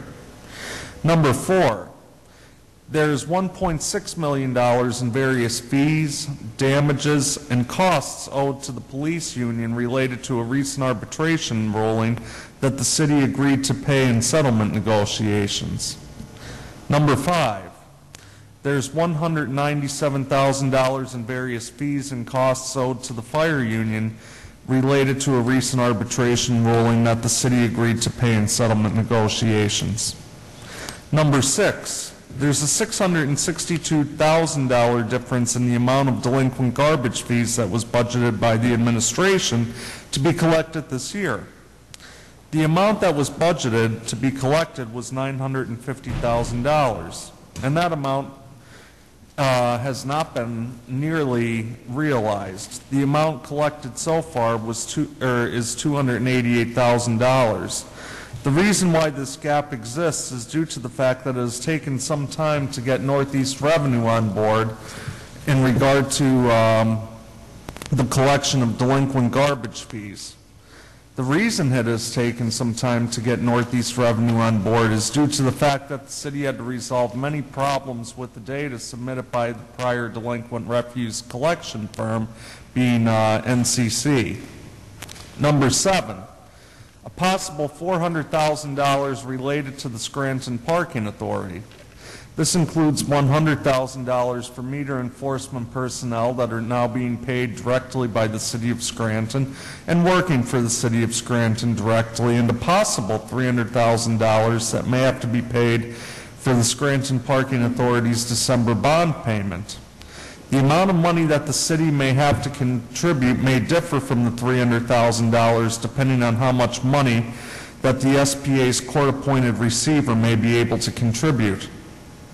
Number eight, there are closing costs that are expected to be incurred in the second, in securing a second unfunded debt. The recent borrowing of $11.32 million incurred $542,000 of costs. The projected costs that our business administrator, Ryan McGowan, um, compiled was $500,000. Though he does believe there is a possibility it may be quite lower. Number nine, there's a $190,000 shortfall in the projection of real estate transfer tax revenue for the end of the year. This shortfall stems from the sale in early January of the former Moses Taylor Hospital to CHS, Community Health Systems. The sale of the hospital occurred before the ordinance was passed to adopt a higher real estate transfer tax rate for 2012. Subsequently, though the hospital was sold in 2012, the transfer tax that CHS had to pay was based on the 2011 real estate transfer tax rate. Number 10, due to health and safety issues, particularly with fire protection in the East Mountain area and slow response times, there were additional firefighters hired back to the city of Scranton in order to reopen the East Mountain Fire Station. Though the rehiring of the additional firefighters was later covered by the SAFER grant, it did cost $200,000 to bring back the additional firefighters before the grant was received. Number 11, there's a projected shortfall of $1.4 million in license, inspection, and permit revenues than what was actually received so far. In the amount of money that the administration budgeted for licenses, inspections, and permit revenue, it was projected that Geisinger and CHS would be undergoing projects relating to the hospital. However, those projects, which would generate a substantial amount of money through permit fees and licenses, did not occur. Number 12, as one may or may not know, the city was to save $600,000 in health insurance costs through a retiree drug subsidy program. Unfortunately, the city was unable to enroll in the drug retire, or the retiree drug subsidy program at the beginning of the year. In fact, the city was unable to enroll in the retiree drug subsidy program until June. Because of the city being unable to enroll in the retiree drug subsidy program at the beginning of the year, it lost out on $300,000 worth of savings. Overall, the grand total of the 12 points that Ryan McGowan testified to amounts to $13,049,000. Though this amount is higher than the $9.75 million, the city believes that the $9.75 million is the most that the city will be able to access in the financial markets. In other news tonight, as one may or may not know, $11.32 million of borrowing has been awarded to the city from Janney Montgomery Scott. At a recent Pennsylvania Economy League meeting, or PEL meeting, our business administrator Ryan McGowan reported what some of the uses of the $11.32 million would be. Of the $11.32 million, approximately $1.1 million will be used to fund debt service payments associated with the 6.4 million that the city was projected to save through refinancing.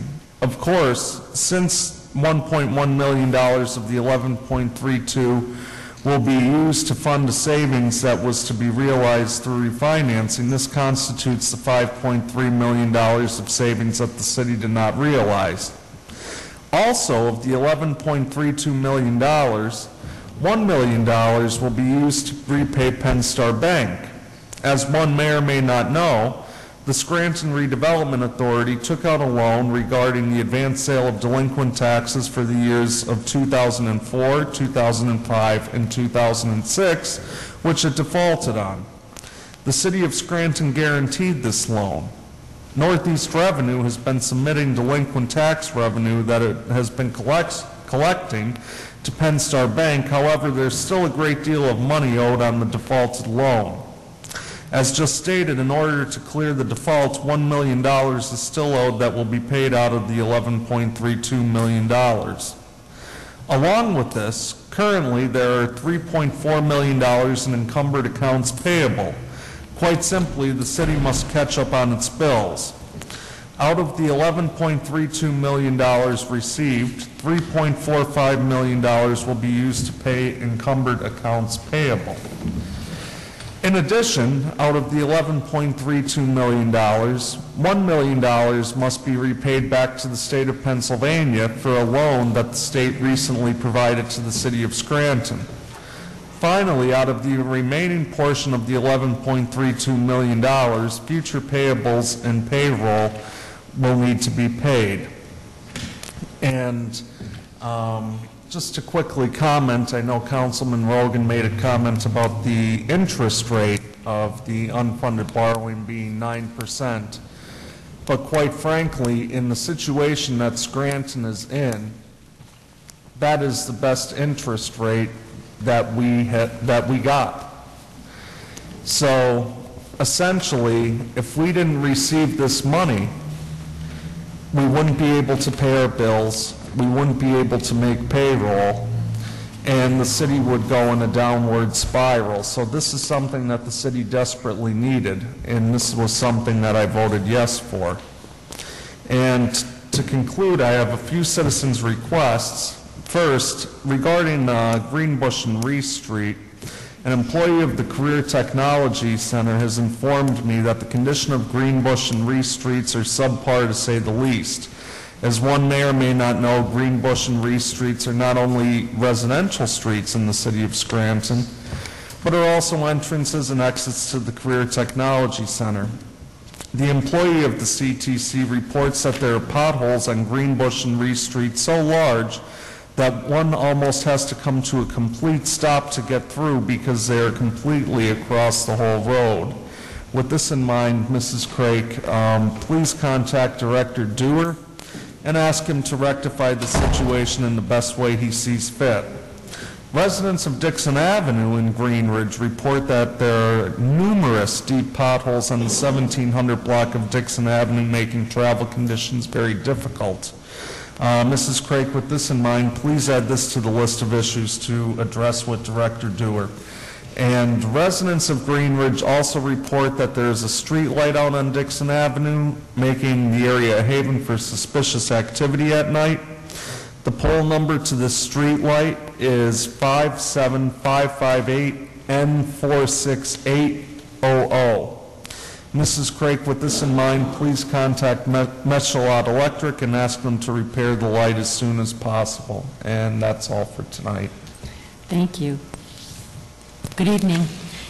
As part of tonight's agenda, council will vote to introduce legislation to execute and apply for a grant application by the city of Scranton on behalf of Lace Building Associates, LP, uh, LBA, to the Pennsylvania Department of Community and Economic Development for a local share account grant pursuant to the Pennsylvania Racehorse Development and Gaming Act in the amount of $555,000. I have requested a public caucus with representatives of Lace Building Associates and Ms. Aebli, OECD Director, in order to receive an update on the progress that has been achieved to date on this project in Lower Greenridge, and to discuss the proposed uses of this second state grant.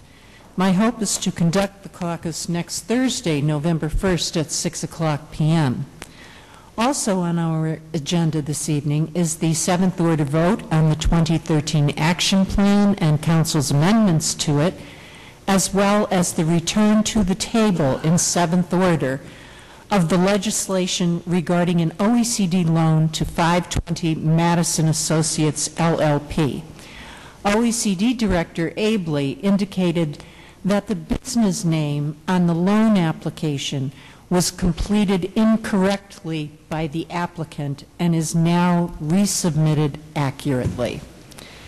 Next, Berkheimer's earned income tax collection requires attention at this time. It appears that 2012 should have been a sizably increased collection year for EIT since the city receives single tax office 2011 collections and Berkheimer 2012 collections. Furthermore, the added authority of Act 32 allows Berkheimer to collect the full amount due at source. Yet Berkheimer had collected only approximately 1.4 million more than the single tax office, who collects only delinquencies as of the third week in October. Timely ability to collect all taxes as the law permits is vital to our survival as a city. Thus, please send a letter to the business administrator and the mayor from City Council to inform them of Council's concern regarding the 2012 EIT collections, Mrs. Craig. Also vital to the city's financial solvency is accountability for revenue received in city offices. Each department head must be accountable for his department's revenue collections. Although other agencies such as Northeast Revenue Service and Berkheimer are collecting certain designated revenues, it is the department heads who must monitor these funds as they are received. In addition, department heads should notify the mayor, business administrator, and city council immediately when an issue with any category of revenue collection occurs, from rental registration to permit and license fees to parking meter revenue to taxes, among others. Equally important, all outside agencies collecting City of Scranton taxes, such as Berkheimer, should submit monthly reports to the business administrator, mayor, city council, and city controller. Mrs. Craik, please forward uh, a memo to Mr. McGowan from city council requesting that as business administrator, he direct all outside agencies to submit monthly reports to the aforementioned parties. Now, I'm quite certain that the BA himself would receive these reports, but I know that city council does not. I'm uh, of the mind that the city controller doesn't receive them, uh, and possibly the mayor. Uh, Also, please send a letter to the mayor asking that he direct department heads to notify Scranton City Council when their respective revenue collections are negatively impacted. Uh, Next, council received a response from Acting Police Chief Graziano regarding the Zone nightclub in North Scranton. Uh, It reads, in response to the attached letter regarding the Zone nightclub in North Scranton, this location has been the scene of 43 police calls in 2011 and 35 calls to date in 2012. As of this week, the owner of this establishment has offered to hire off-duty uniformed Scranton police officers while the club is open. Whether we will be able to fill these positions is yet to be determined. In any event, we will continue to take enforcement actions there when warranted. Council thanks Chief Graziano for his action in this matter and for his timely response. Uh, Finally, after receiving numerous complaints concerning Kane Street in Scranton, I was pleased to learn that the DPW performed extensive road patchwork in Southside last week, particularly on Kane Street between Stafford and South Webster Avenues. I was told the DPW used a front-end loader in its attempt to permanently repair a gash in the road near the Econo Lodge that was nearly half the width of the road. Southside residents, visitors to cemeteries in this location, and Scranton City Council wish to thank the DPW for its fine work. And uh, Mrs. Craig, if you would please send a letter to Ms. Aebli to request an update on the park located in the 500 block of Lackawanna Avenue. And that's it. Could I just add one thing? You Sure. reminded me of something. Um, Somebody contacted me about uh, the corner of Main Avenue and Forest Street, that there were overhanging trees that made it very difficult as you were coming down Forest Street, if you look to the right, for oncoming traffic, that the trees block that. And uh, the person that asked me about this, it was at a supermarket, and I don't know how to contact her other, other than to say that I have contacted DPW, they are aware of the situation, and when they have the manpower and the wherewithal, they will rectify the situation. Thank you. Thank you. Mrs. Craig? 5B, authorizing the mayor and other appropriate city officials to execute and apply for a grant application by the city of Scranton on behalf of Lace Building Affiliates LP, LBA, to the Pennsylvania Department of Community and Economic Development for a local share account grant pursuant to the Pennsylvania Racehorse Development and Gaming Act for a real estate development project located at 1315 Mylert Avenue, Scranton, Pennsylvania, to execute and enter into a local share account grant contract, if approved, with the Commonwealth of Pennsylvania to accept and utilize the grant in the amount of $555,000 if awarded by the Commonwealth of Pennsylvania for the project to be known as Scranton Lace Redevelopment Project. At this time, I'll entertain a motion that item 5B be introduced into its proper committee. So moved. Second. On the question? Yes, I- I- I'm glad that you have asked for a caucus with that. I think there are a couple of questions that I, that I had, um, particularly in terms of timeline. Um, I, I- I think we've seen any number of projects where money has been received and yet, Never use. Yeah, Well, the- we that haven't the seen project has never been um, taken, or, you know, taken on. Um, And the other thing I think that we should look at is what other funding is, you know, is there for that, that project, and will it move through the phases in a timely manner? Mhm. I agree. I Thank agree. you. All those in favor signify by saying aye. Aye. Aye. Opposed? The ayes have it, and so moved. 6A, reading by title, file of council number 64, 2012, an ordinance approving the transfer of a restaurant liquor license currently owned by Colonies Incorporated, trading as Little Nicky's Pasta House, 77 Fallbrook Street, Carbondale, Pennsylvania, 18407, license number R-14028, to pass Rush LLC for use at Big House Tobacco Outlet located at 200 Greenridge Street, Scranton, Pennsylvania, 18509, as required by the Pennsylvania Liquor Control Board. You've heard reading by title of item 6A. What is your pleasure? I move that item 6A pass reading by title. Second. On the question?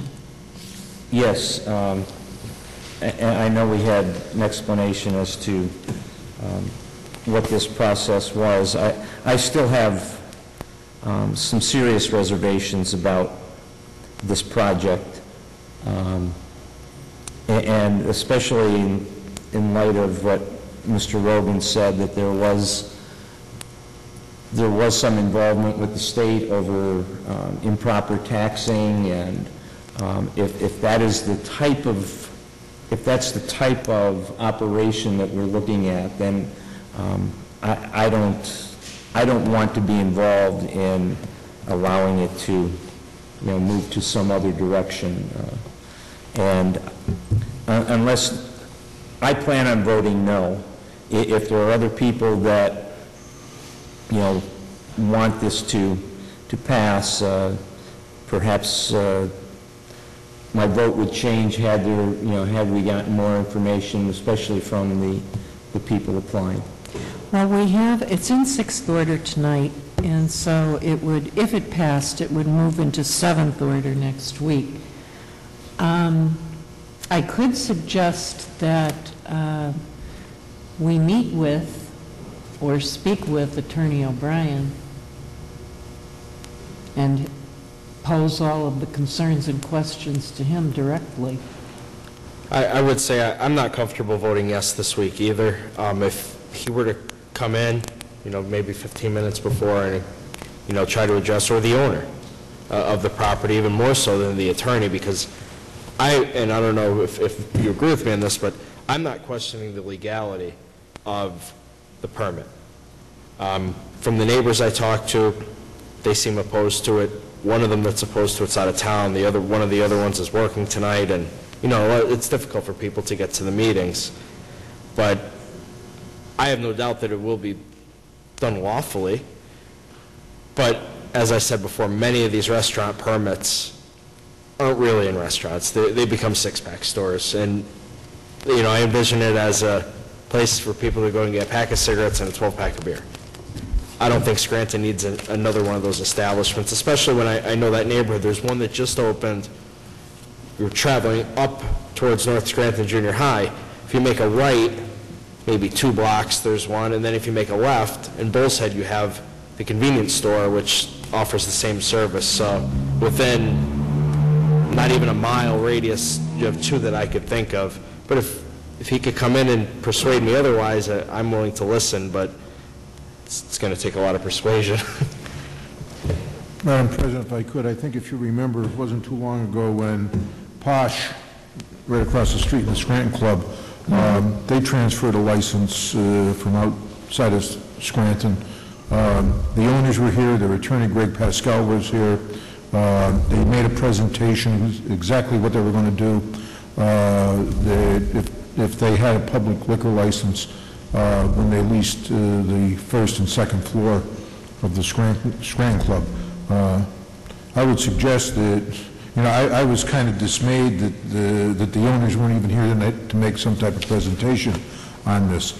Um, I think that, I I believe that that Attorney O'Brien told Mrs. Craik that had he known about this, that he would have come up from Harrisburg. Um, I'd only suggest to council that, um, tell them that there'll be another hearing next week, or to come, you know, at the, at the regular meeting, and to make a presentation on this, uh, to exactly what it is and clear it up. Um, Attorney Hughes, is it the owner or the attorney that lives in Harrisburg? The attorney. The attorney. I, I would be, I would prefer actually to hear from the owner than, than the attorney. Well, as I said, when Posh was here, it was both, both. you know, Yeah. the- the, the, the the two owners of Posh were here with their attorney. Yeah. Um, You know, I, I, I was kind of dismayed that, you know, nobody was here tonight. Uh, You know, if there's a public hearing, uh, I, I thought that they would have been here to make their presentation as to exactly what it is, and why this liquor license should be transferred from outside of, of Scranton into Scranton. Would, and the burden is on them. I mean, you know, that's, that's what it comes down to. Would it be acceptable to, I guess I could, I could accept uh, putting it into seventh order, and once it's placed into seventh order, tabling it until such a time as, Unless, of course, they can come next week. well, I, I I would just assume table it in in case they can't, and you know, Right. then it's not on for seventh order, and uh, we can place it, would that be? I would think would if- agree if, if they can't be here next week, if the business means that much to them, you think they would do everything they can to come. And with budget time coming up soon, that will take up, I would assume, the bulk of discussion at the meetings. Um, Again, I'm not comfortable voting for it, but if, again, if there's somebody can Neither come in am I, and but and since persuade it's not in seventh order. Right. uh, I, I I'm- think, I think we should um, do our due diligence, you know, as, as I suggested and our solicitor suggested, uh, request their presence at a public caucus, and um, if they attend and they explain, then we can consider this. If they fail to attend, They, they should have, as Attorney Hughes said, they should have been here today. It it was publicly advertised. Right, but we did, I know in the case of Posh, we did actually conduct the public caucus with them. Yeah. So we had not set up a caucus, so uh, I think we should do that and uh, see if they could come in. I would think they should bring blueprints and everything else. I mean, if they, Mm-hmm. you know, that they, they should have it laid out exactly what it's going to be. Is it going Right. to be, a- it's going to be a takeout restaurant, uh, you know, like, you know, some of these have, or is it really going to be a restaurant? And they should have plans. Yes. And while we're inviting them to come in, I would like to see some sort of proof um, that they have paid permit fees for the work that they are doing on the premises now. Absolutely. Yeah. That's what I said, I think there are still serious questions. I, I guess I would be willing to vote for it tonight, but um, as Mr. Rogan said, it would take some serious persuasion to, to have me vote yes in in seventh order. Okay. Uh, All those in favor signify by saying aye. Aye. Opposed? No. The ayes have it and so moved.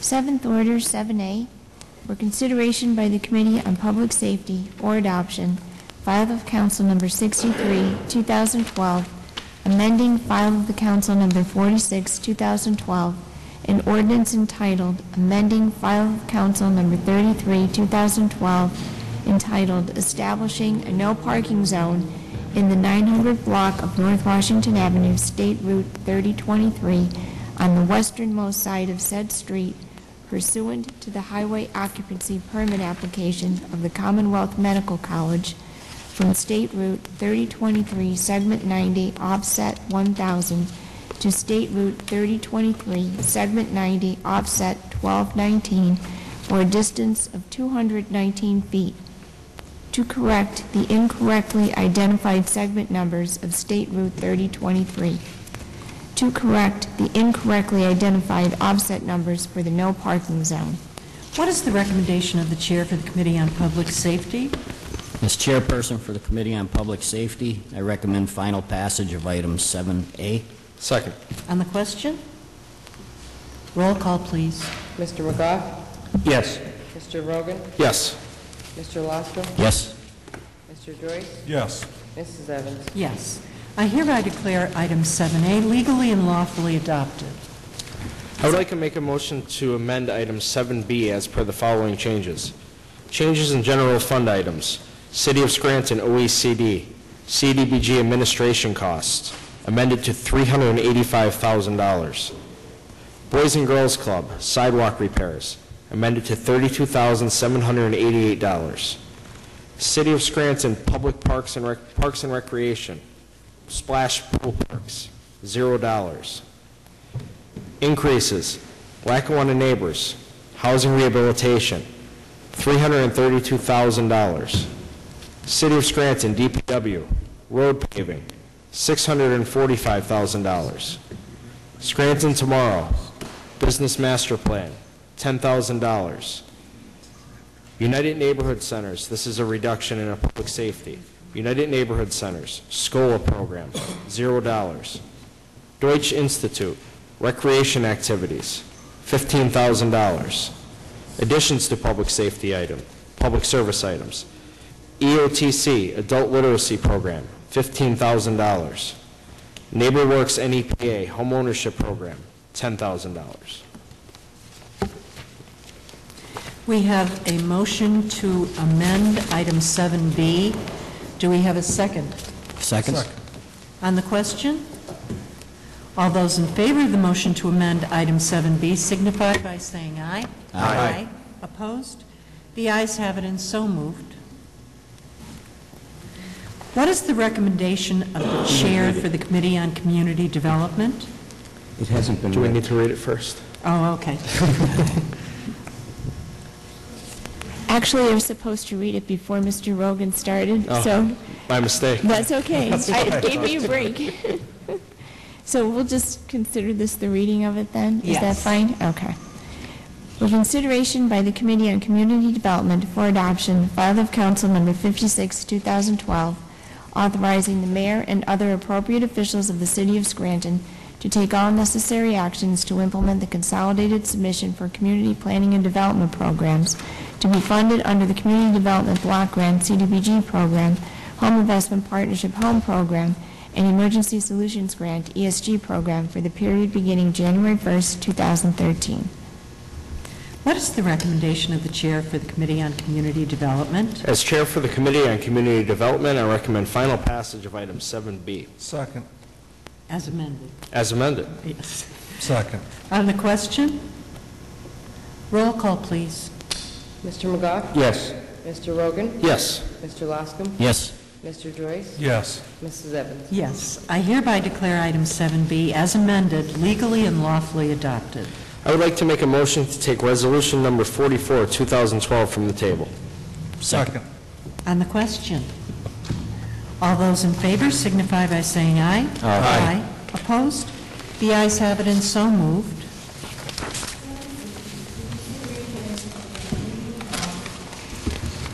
For adoption, Resolution Number 44, 2012, previously tabled, authorizing the mayor and other appropriate city officials for the city of Scranton to enter into a loan agreement and make a loan from the Community Development Block Grant Program, project number 150.35, in an amount not to exceed $150,000 to 520 Madison Avenue Associates LLC to assist in eligible project. I make a motion to amend item 7C by deleting Exhibit A loan agreement and inserting corrected Exhibit A loan agreement submitted by OECD Office Monday, October 22nd, 2012. In the summary title, after Madison, delete Avenue. In the second whereas clause, fifth line, after Madison, delete Avenue. In the now therefore clause, fourth line, after Madison, delete Avenue. Second. On the question? All those in favor of the motion to amend item 7C signify by saying aye. Aye. Opposed? The ayes have it and so moved. What is the recommendation of the Chair for the Committee on Community Development? As chairperson for the Committee on Community Development, I recommend final passage of item 7C as amended. Second. On the question? Roll call, please. Mr. McGoff? Yes. Mr. Rogan? Yes. Mr. Loscombe? Yes. Mr. Joyce? Yes. Mrs. Evans? Yes. I hereby declare item 7C as amended, legally and lawfully adopted. If there is no further business, I'll entertain a motion to adjourn. Motion to adjourn. This meeting is adjourned.